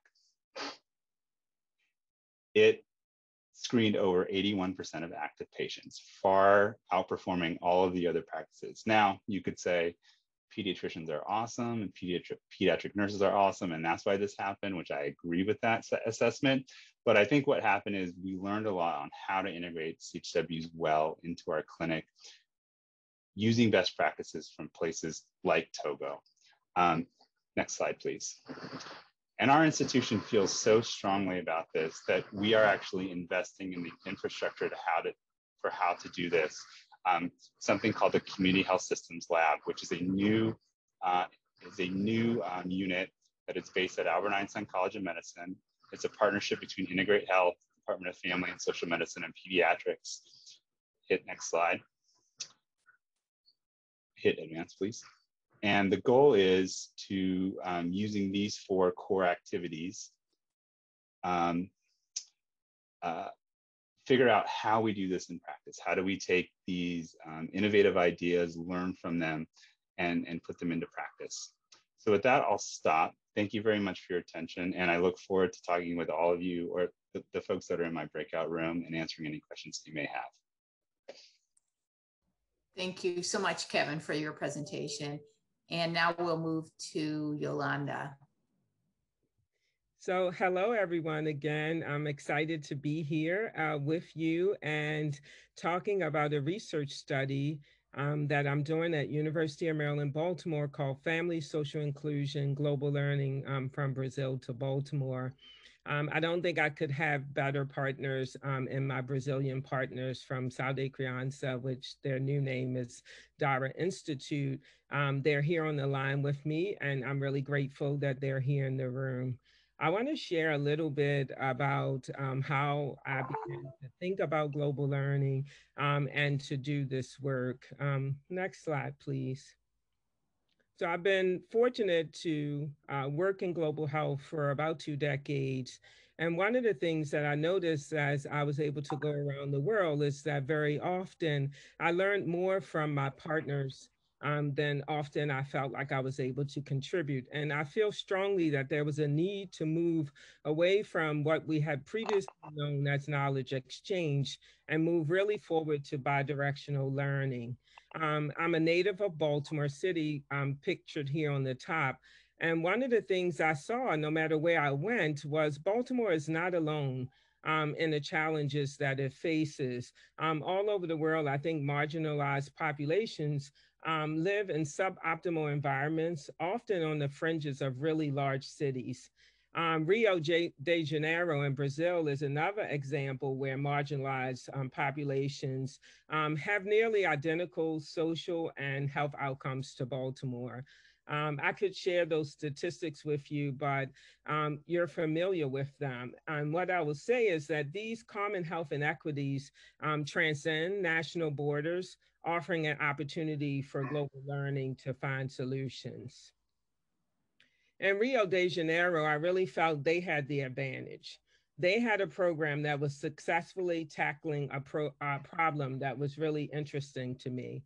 Um, I've been very interested in social isolation, particularly community social isolation, and how the social and built environment of cities um, contribute to individuals and families feeling socially isolated within the communities that they live. And, in, in Brazil, in Rio de Janeiro, next slide, Um, they have a program, um, and the program is called Saúde Criança or Dara Institute. Um, and this program um, focused specifically on social inclusion. Um, specifically, the individuals at Saúde Criança believe that the most important characteristic of health is social inclusion, and that social inclusion is the antidote to social isolation. Um, and so they work with families from marginalized communities. Um, they recruit them from the health system, perform a baseline assessment, and they walk alongside families in a co responsibility agreement um, through a family action plan methodology that they developed. Families receive monthly coaching, a support group and provision they offer direct provision of resources um, and, research and, and or referral to resources over a two-year period the program is very strategic in that it works in five areas health, housing, citizenship, and income generation. Um, and I was really uh, fascinated with their program as I began to look on the um, on the web. And it's not that we don't address um, the social determinants of health in these five areas in the United States. It's really the issue that we don't think about it as social inclusion, making sure that everybody has an equal and fair opportunity to be included in society. So I began to think about this work and how we could replicate this program in Baltimore. Next slide, please. One of the things that I quickly understood that it is impossible to think about global learning without collaboration, both locally and globally. And so I had to develop really a strong sense of community partners. And I had to remember that people in Baltimore would be at the center of all partnerships and to engage them within the whole research process. Um, and so what you see here is we have a really great interprofessional group of professionals that are working with me um, on the project. Um, we're looking at social isolation and the impact on um, mental health. So we have Black Mental Health Alliances, as well as Be More Healthy Babies, which is a program that works with young mothers. Um, really important, um, my team members are predominantly from Baltimore and their community health worker, as well as the program manager um, Janet North Kabore, who's helping us with the slides, a very important member of the team. Thank you, Janet. Next slide, please. So in terms of community engagement for global learning and really thinking about how to adapt programs globally, locally, I think it's really important to think about community engagement from conception to dissemination. Um, and so for our project, we went to community members before we submitted the proposal to see what they thought about the idea. Um, and they were really excited about the idea. Um, we also had a community engagement phase of the proposal where we sat down through focus groups and interviews and met with families um, in the community to see if they would even accept the idea of global learning.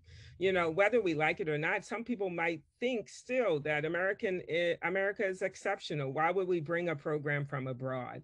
But when we talk to community members to ask them if they would be willing to accept the global learning program, they said absolutely yes. Um, they would because some of their health equity issues had not been addressed for many years. So why not try something new?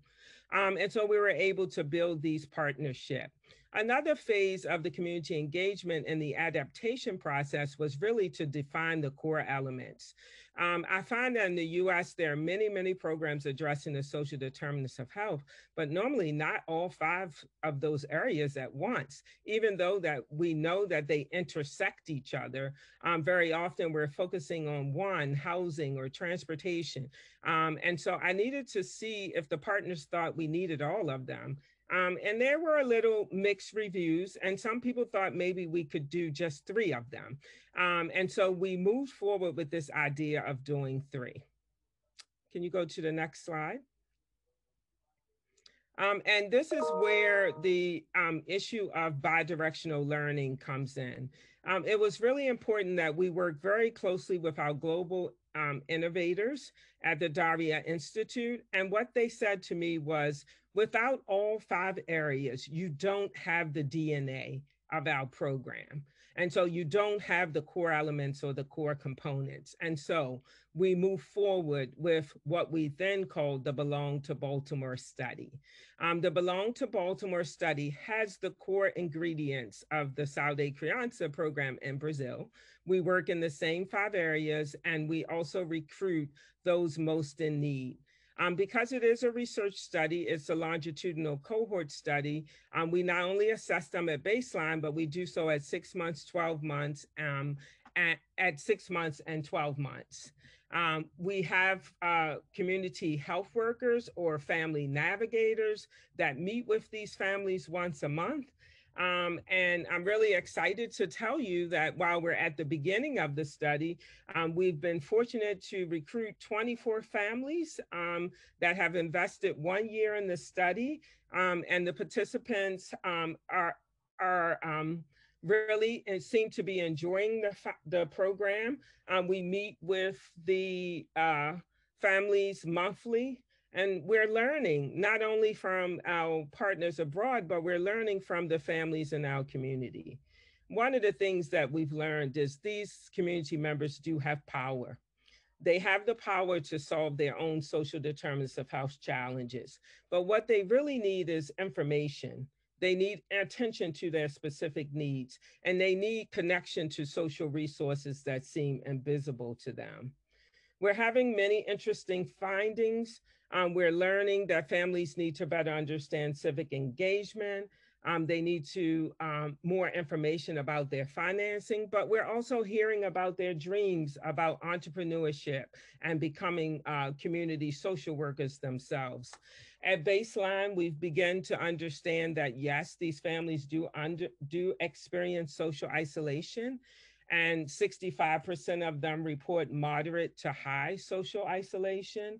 Um, they also um, have moderate to high anxiety, and we understand that their social isolation is significantly associated with stress and anxiety. Um, growing up in the same community as my participants, I often wondered what the impact of hope was on social isolation. And so, an additional measure that we looked at was the impact of hope. And what we're finding is that as hope increases, social isolation decreases at baseline. So these are our baseline findings, and we have a lot more to share as we move forward.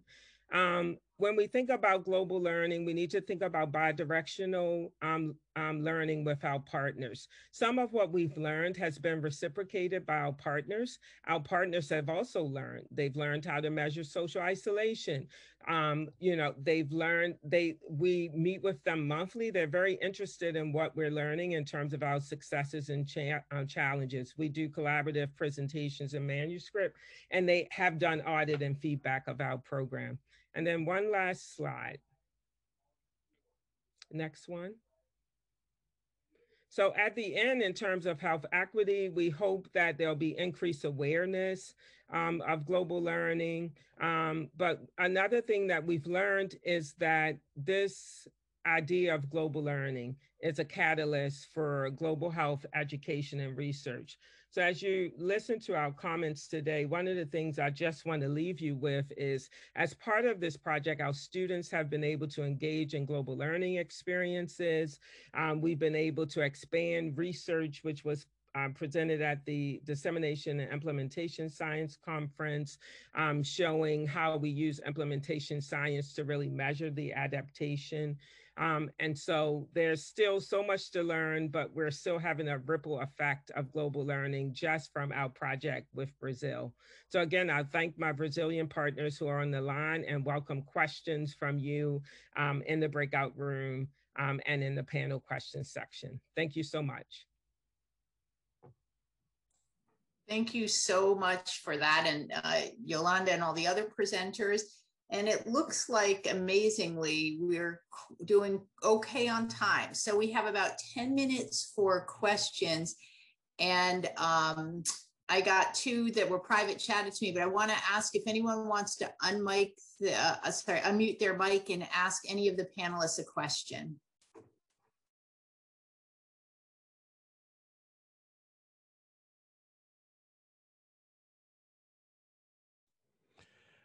Does that include me?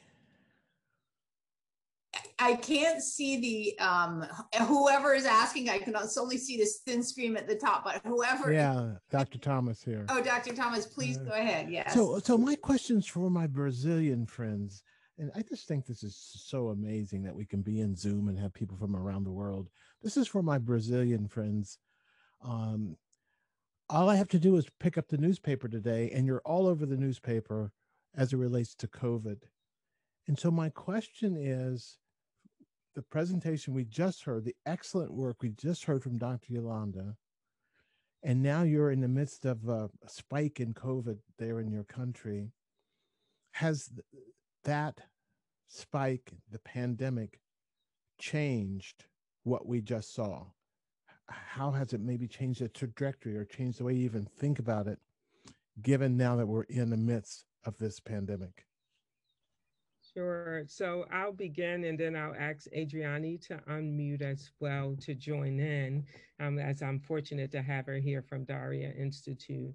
Um, what I will say is that we know that we've had similar experiences even during COVID. It's been pretty amazing. We've both um, transitioned our, per, our programs to virtual format, and we also had students that uh, worked on a virtual global health project. They have a poster at CUGH, in fact, um, this time. Um, that looked at a cross country comparison of how we had to modify our, our uh, work as well as the um, the social determinant drivers of COVID outcomes, both in the US and in Brazil. Um, so, Adriani, how much has your work been changed um, by uh, COVID 19 in Brazil? Well, good afternoon. It, it is really a pleasure to be here and to hear all these uh, challenges that uh, people have to, to share with us. And uh, also I have to say that it is really, really a pleasure to work with Yolanda. And we are working for more than three years, maybe four right now. And, it, and it's always uh, a monthly pleasure to talk to her and learn. And we learn, we really learn together. Uh, yes, COVID is a, a big challenge here in Brazil.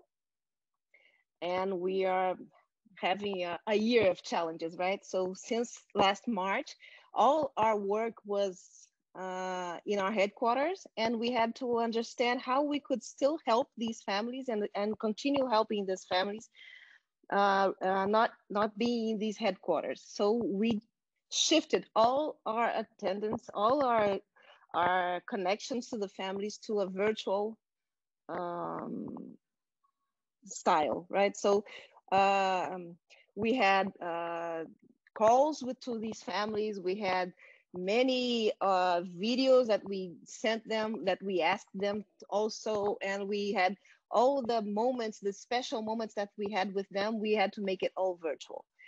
Uh, this this pandemic showed us that we don't have to be in the same place that the families so that the work uh, is done it showed that it is possible to make it virtual.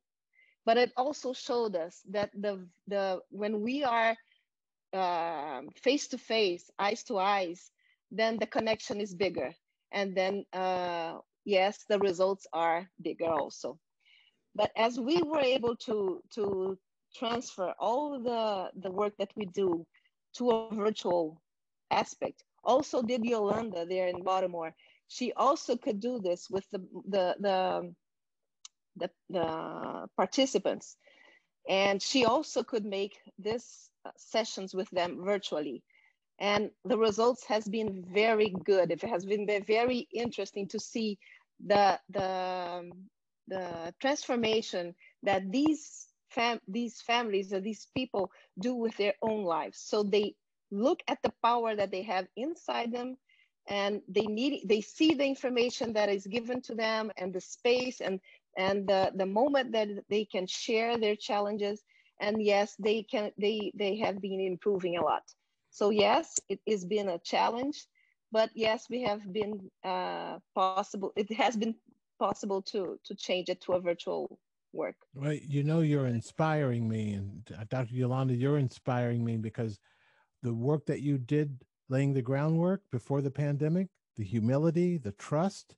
Then the pandemic hits, and now you have the trust you need to translate that trustworthiness into the virtual environment. Doesn't take the place of, but it sure helps that you had it already. Thank you so much. Thank you so much for that question and that wonderful answer. And, and welcome to our Brazilian colleagues um, for joining us today. Would anyone else like to ask a question of any of the panelists?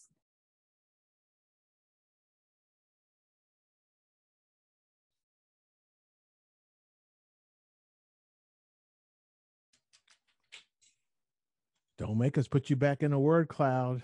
that that brought them out, didn't it? well, one one person asked a question, but now she's gone. But I think it was a very good question. She wanted to ask um, Ruth Dudding. Um, you mentioned that um, that the community health workers are advocates more than healthcare workers, and what does uh, that mean?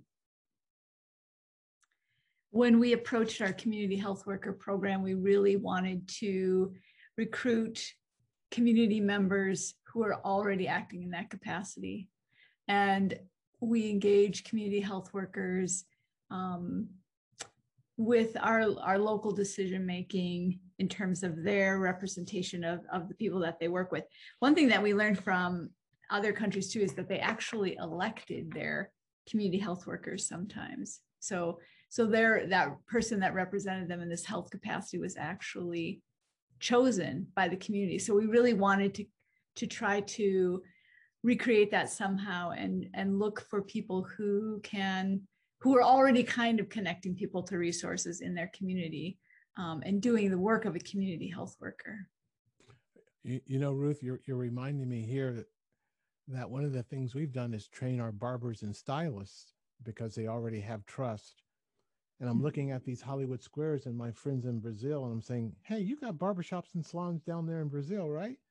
Hey, how might we get international barbershops and salons involved in this kind of activity as a cross fertilization? And in Maryland, uh, Ruth, uh, three of our barber stylists have now been certified by the state of Maryland as official community health workers. Nice. Sure. It looks like Ruth has another question in the chat, Virginia, from um, Alex Greenfield. Alex, I'm not sure if you wanted to unmute. Uh, sure. I was just hoping Ruth might speak to, she mentioned some multi-sectoral uh, intervention that Athens was implementing um, from global learning, and if she could just give a little more detail. Yeah. Um, so one of the ways we've been doing that is with the care coordination network. We actually use, um, we have a platform where community health workers, healthcare um, providers, social service agencies, lifestyle change programs, the library, anybody who's who's connected to people can come together to strengthen the way resources are accessed in Athens County. Um, we also have a, I talked about the community improvement challenge teams. Um, that's that's our, our local county commissioners hoping to engage communities, um, people who are local business owners, people who are retired, people who are uh, still in in public school, like having you know a different variety of people working together to make decisions and, and so we're really excited about that as well. Thank you so, so much, Ruth. Um, it looks like Nancy wanted to ask about the social determinants of health um, screening model. Nancy, do you want to unmute yourself? I think that's for Kevin.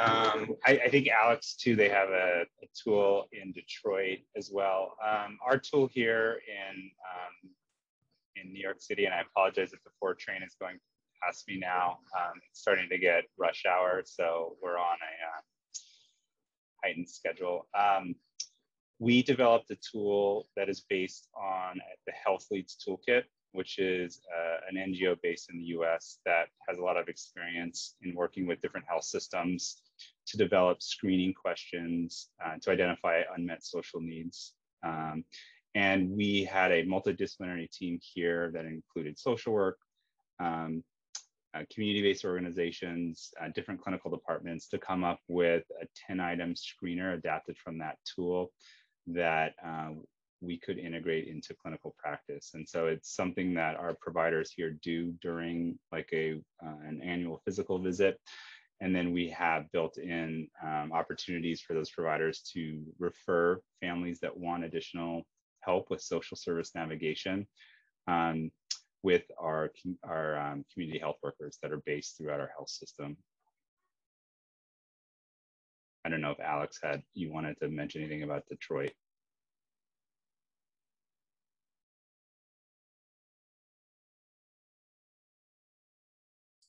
Sorry, struggling to come off mute there. No, I think I, I don't want to overspeak it, Kevin. I think you did a great job getting it. I mean, I think, um, yeah, we can go to the next question. I, I didn't, I don't think anything super specific about Detroit that doesn't kind of speak to your context. Great. As, as since we're coming up to a break, I just had one more question. If if I wanted to, if I could direct this to Carmen, um, have you had more visits than that after that initial visit with um, Cuba, or going back to Cuba folks from Cuba visiting your community? Yeah, we've had, um, so in 2015, we had our first trip. And then I think it was in 2016, we had a second trip. So we were able to send, I think, a total of around um, 30 to 40 community members. And then along with that, um, in 2018, we sent some youth um, to do an exchange as well. And some of the medical students that we met in Cuba have also come when they come to the US, visited um, our site. And so we um, had some exchanges that way. We have networking meetings with um, the whole um, CPHE network, um, probably about once a quarter. And so we're able to continue our relationship there. Thank you so much for sharing.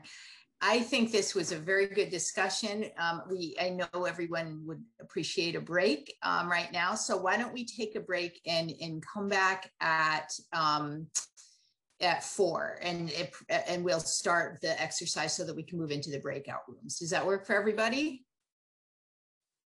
See you back at four. Um, uh, thank you so much um, again, everyone for being here.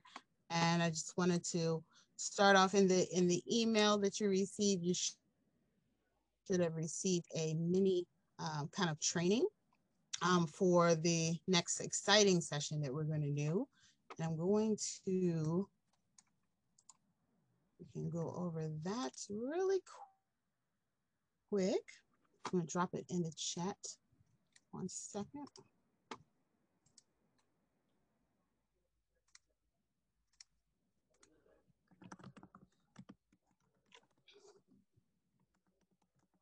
Okay.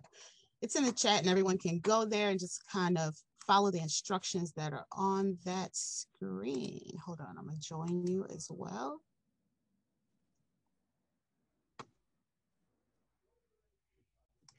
So for this part of our session, we're gonna have some breakout rooms and we are going to be doing some brainstorming together. We love to hear your ideas about global learning.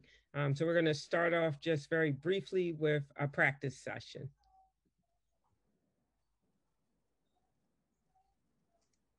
So you can click the link that Janet sent. Hold on one second. I'm going to share my screen. Okay, so here's where we are in the chat session.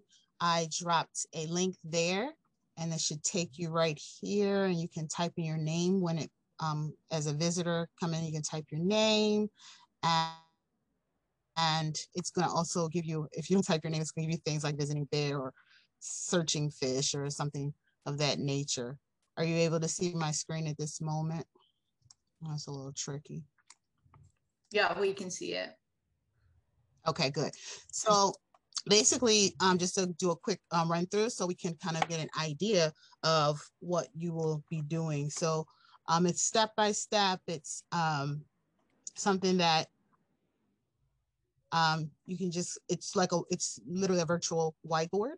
And on that whiteboard, you're just gonna put little sticky notes. So you'll go in and you will just double click. The first one is just saying zoom in and out. And that's just, if you have a mouse, you can just go scroll up and scroll back. And it's also a little window right down here where you can also do your zoom in and out there as well. Okay, and I think some people on I on Macs they can do a plus minus or um, command plus and minus. and then so here it says to just create a sticky note, you just double click on the space. When you double click on the space, you'll see that little white dot, and you can just grab the edge of that dot and pull it out just like that, and then just type in there, and that's it. And you also see this little bar that comes up across here. Really quick, you can just change the color. If you want to change the color, you can uh, change the shape. If you decide you want to change the shape, font, things of that, that nature, formatting and things like that. And so, one, I'm sorry, go ahead. Go ahead. Okay, so another thing is you, if you say, oh, I don't want it right here, I meant to put it here. So you just, just click on it and just drag and drop, drag and drop right over to the next section. And then I see um, different people moving things about. and so, uh, so like I said, you can do all of the things. It's really quick. Um, some of the other tips, if you are having problems with that, they're also over here in these little tabs where you can text and it'll bring out the exact color that you want or box or shape right here on this sidebar here. Um, it also has like a title bar where you can uh, click on and it'll bring up uh, a little title bar for you. It'll pop up. Again, a little square for you. Someone just took my square. and then um, open it up and then type something into it as well. But to me, it's just a lot easier to double click into the space here and then you'll have your square there, your little post-it note.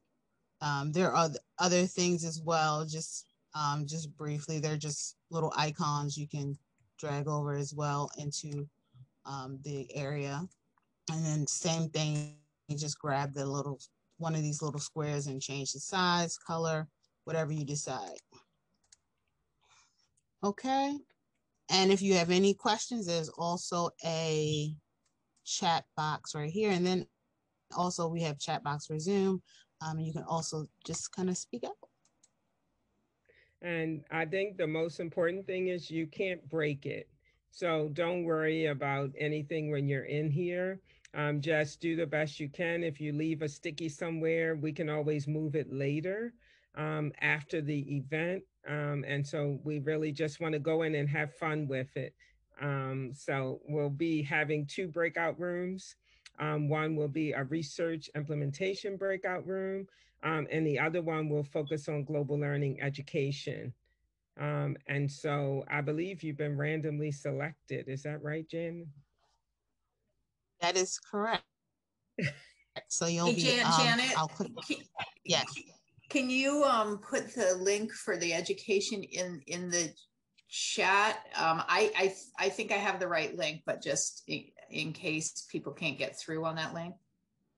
So what I'm going to do to avoid that, um, I'll drop I'll drop you your link.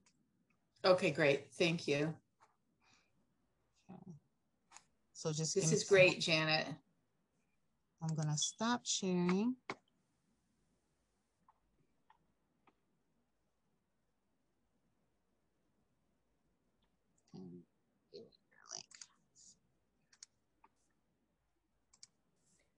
Stephen, thanks for putting the Wordly as your picture. It just gave us so much to think about.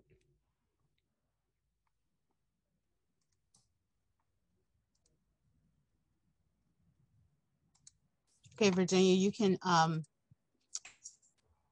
share this link in your break room when you get there. Okay, great. You're sending it to me. Oh, great. Perfect. Okay. And I'm going to open up the break rooms right now. We can jump right on over there. And I believe it's uh 40 minutes that we have. Uh, until um, 4.40 Eastern time. Okay. So it's more like half an hour. Okay. All right, it's set. They're going to close in 30 minutes. All right, let's go. I felt like I was on Starship Enterprise. and I was beamed into a Welcome whole back. I'm glad you guys have your cameras on. It really helps. That was fun. it worked, Yolanda. Our boards are really full of really good ideas. No, that's great. Um, and just to remind, um, just to share that the boards will uh, still be up for, is it two days? Yeah, they'll be up for the next two days and then we will lock them. So if you felt like you wanted to add more to the boards and you were not able to just put in all of your comments um, to all of the questions, please feel free um, to open up Miro. You'll still have the link and you'll be able to continue to add to the session. We know the breakout session was short. Um, and then another powerful thing is eventually we will lock the board and we will categorize all of the ideas um, and we will share with you um, the board once it's all categorized. Um, so we're really uh, looking forward to um, sharing that with you once it's done. But even though the breakout session ends, it's not over. You can still share more. So I think the next, um, the ne for the next um, uh, part of the session, we're going to have um, some feedback. So maybe we can start with the education room.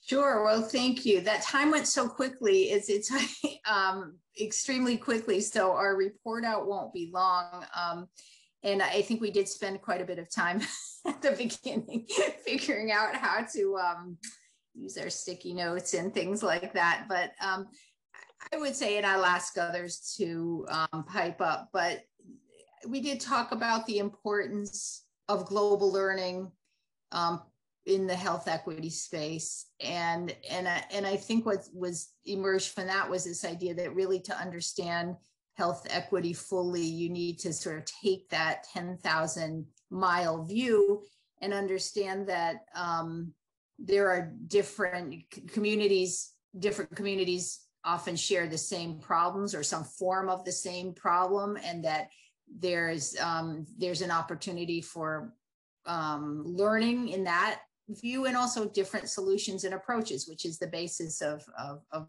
global learning. So it seems like the concept of global learning is, is an important way of teaching about health equity and viewing health equity.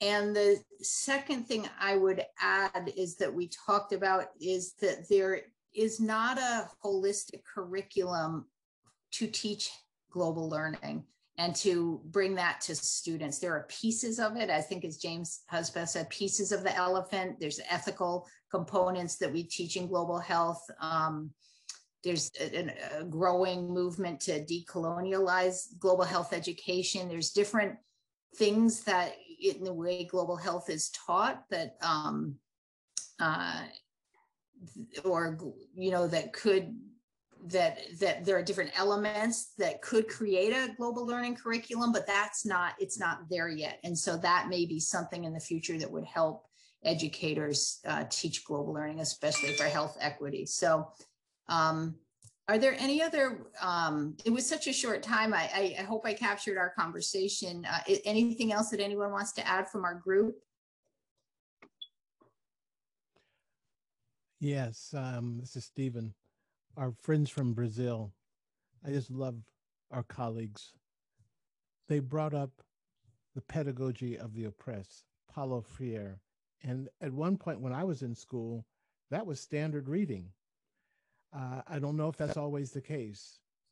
And so the notion that we're talking about global uh, lessons that come from countries with different political systems and the extent to which that is accepted or rejected here in the US because we just came through four years of hyperpolarization.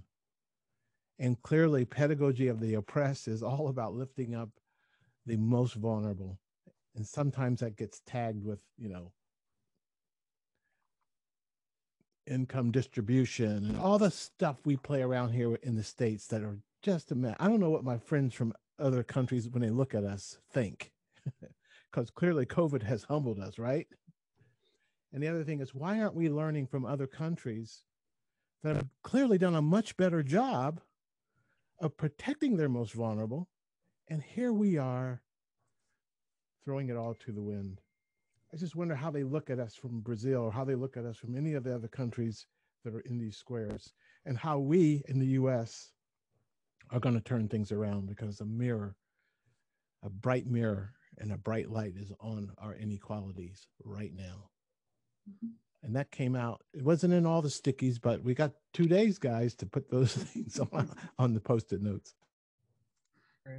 So thank you for that, uh, Dr. Thomas. Um, and then Kevin, can you give uh, some feedback from? Sure. It's um, not fun following up Dr. Thomas, um, but um, just to go on, just to piggyback onto some of the themes that he brought up, that definitely came out in our research. And it, again, it came back to the word cloud, some of the key terms that came up, this, this concept of humility, um, being open to ideas. Um, our group, uh, we we I don't I'm not going to say we mastered mural, but we got better over time. Um, so that was good. I think the next time we did this, we'll be we'll we'll be pros. But I think different different uh, people on the call are at different stages um, of where they are with their global learning project. Um, a lot of discussion about implementation science and using it to understand sort of core parts of um, how you put into place, you know, evidence-based practice and how you adapt that practice, maybe being the more important part, and learning from that. Um, community-based participatory research and working with communities instead of conducting research on them uh, was something that I, I, heard in a lot of the comments. Um, and um, again, I, I, think the the star of our session was uh, hearing from this this Brazil Baltimore connection and the experience that they've had um, back and forth um, in, in, in trying to, to learn uh, in, a, in really a bi-directional way. So um, those are just some few comments. I don't know if anybody else from the group wants to, to say anything else, Sonya or, or Yolanda or no, I think um, you really captured it well. Um, it was interesting that um, there were a few people in the implementation phase of global learning, um, but some in scale up. Um, and then others who were just beginning to think about it. Um, and so we know we have a lot of diversity in the group that's online today in terms of where we are for global learning. Um, it was also the discussion that some community members may not be open to this idea of global learning, um, and there may be some resistance um, to global learning, um, depending on um, how people perceive a country. The example in Brazil was um, local participants in Baltimore uh, were open to it, but when in Brazil, they were open to a program from the US, but they were surprised to understand that a program from Brazil was so heavily impacting um, people in Baltimore. Um, and so I think we still have a lot to learn um, about it, but um, we do have a few sticky notes and we welcome some more. We'll welcome questions from people that are in the education room to the research team and vice versa.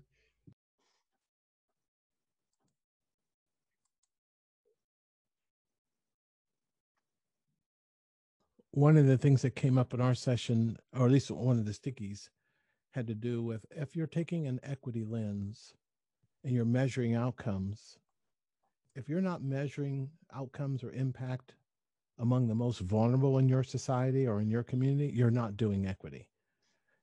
And so it really was a focus on those who are falling through the cracks of whatever systems we live in. That's where equity comes in. And if you're not designing for them, then you're not really doing equity. Which goes hand in hand, and then Dr. Thomas described uh, empathy interviews that his students do, and that they often, did you say, the first time they go out, they do something, but then they realize how quite hard it is and have to come back and, and think about how to do it. So and they're, and they're afraid when we take our students into black neighborhoods, they come off that beautiful campus and they go into these neighborhoods just driving there their heart rates start to increase and uh, we have to have them get over that because the community can smell that fear and get them to a point where they are more honest with themselves. And then they get a story rather than an interview. And they come back with stories. But as I said in our group, we have to let them go out and kind of make mistakes with each other first before we put them in the community. and it's not easy for them, even among themselves, to be more vulnerable and to be more self disclosing. In other words, take off the robe of your academic and just be a human. Not easy.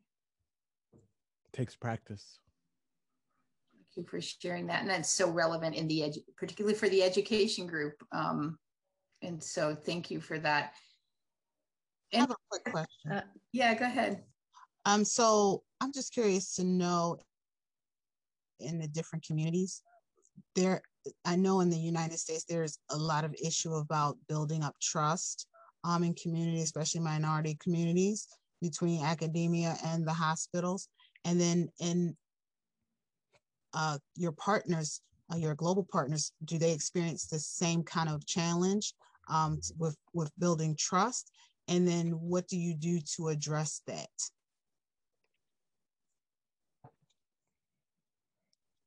And what does it look like?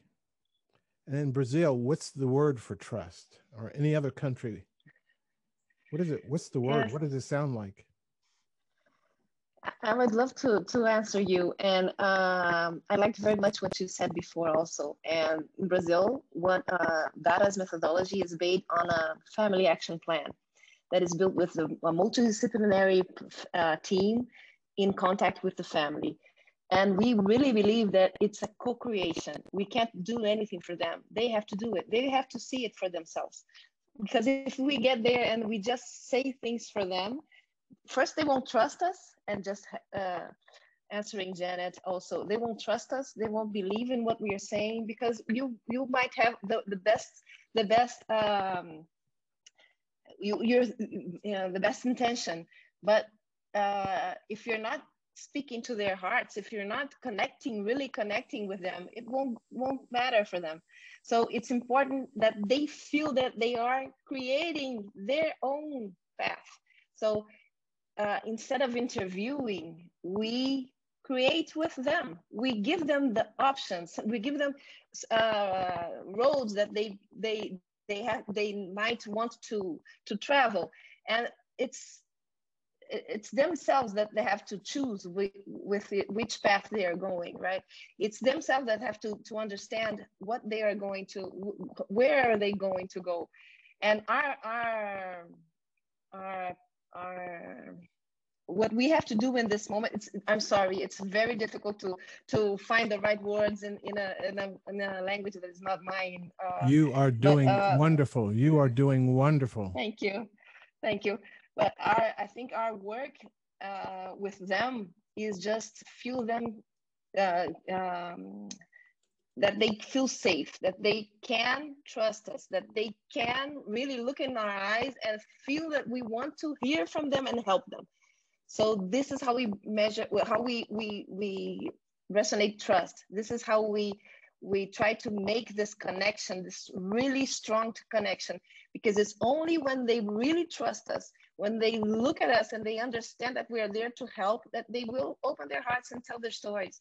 Because if they don't do that, it, all the all the things that we they, they say to us uh, might be some event, something that they they they that is not true.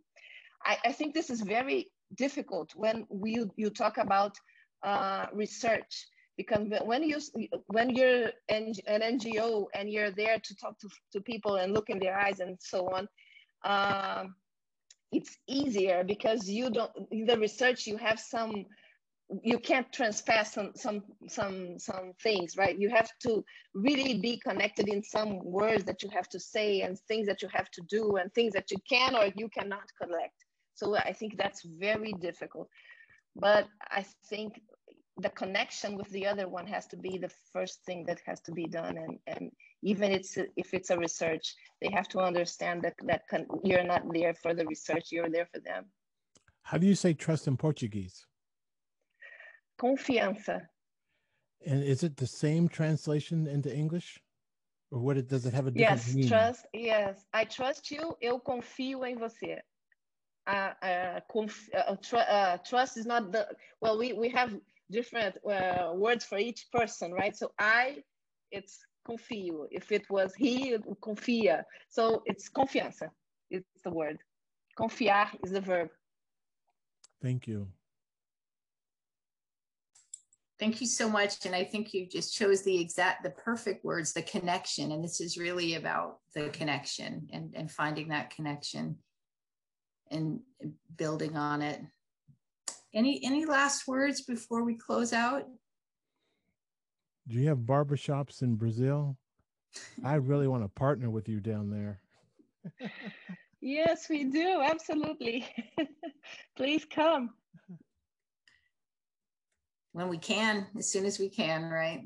But um, if no one has anything else, it's three hours is a long time, but this has been very rich with insights and and um, wonderful experience. It's so nice to have our colleagues from Brazil.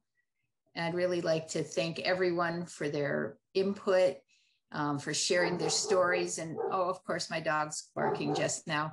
Um, and sharing their stories and um, trying mural and mostly succeeding at mural. And um, I think that's all part of trust building and working together. And, and um, very proud to be part of this project with um, Dr. Ogbolu and with the rest of this team and hope that other folks on this call will want to join us on this journey um, of global learning. And um, it's, it's been a great three hours and we thank you so much. Any last words, Dr. Ogbolu? No, it's just been wonderful, and thank you all for participating. Um, look forward to hearing from the uh, Global Learning Network in the future. Um, we will reach out to you with some additional resources and opportunities to connect with us more. Thank you so much. One last thing. Thank you, Janet North Kabor, for everything. Um, you are the MVP um, running the PowerPoint and the mural. So I don't want to leave without saying that. And have a wonderful evening or morning, wherever you are. Um, great to see you all. Bye Thanks bye. to the organizers. This was great. Be Thanks, safe. everyone. Thank you. Wear your mask. Don't play with this. Bye bye.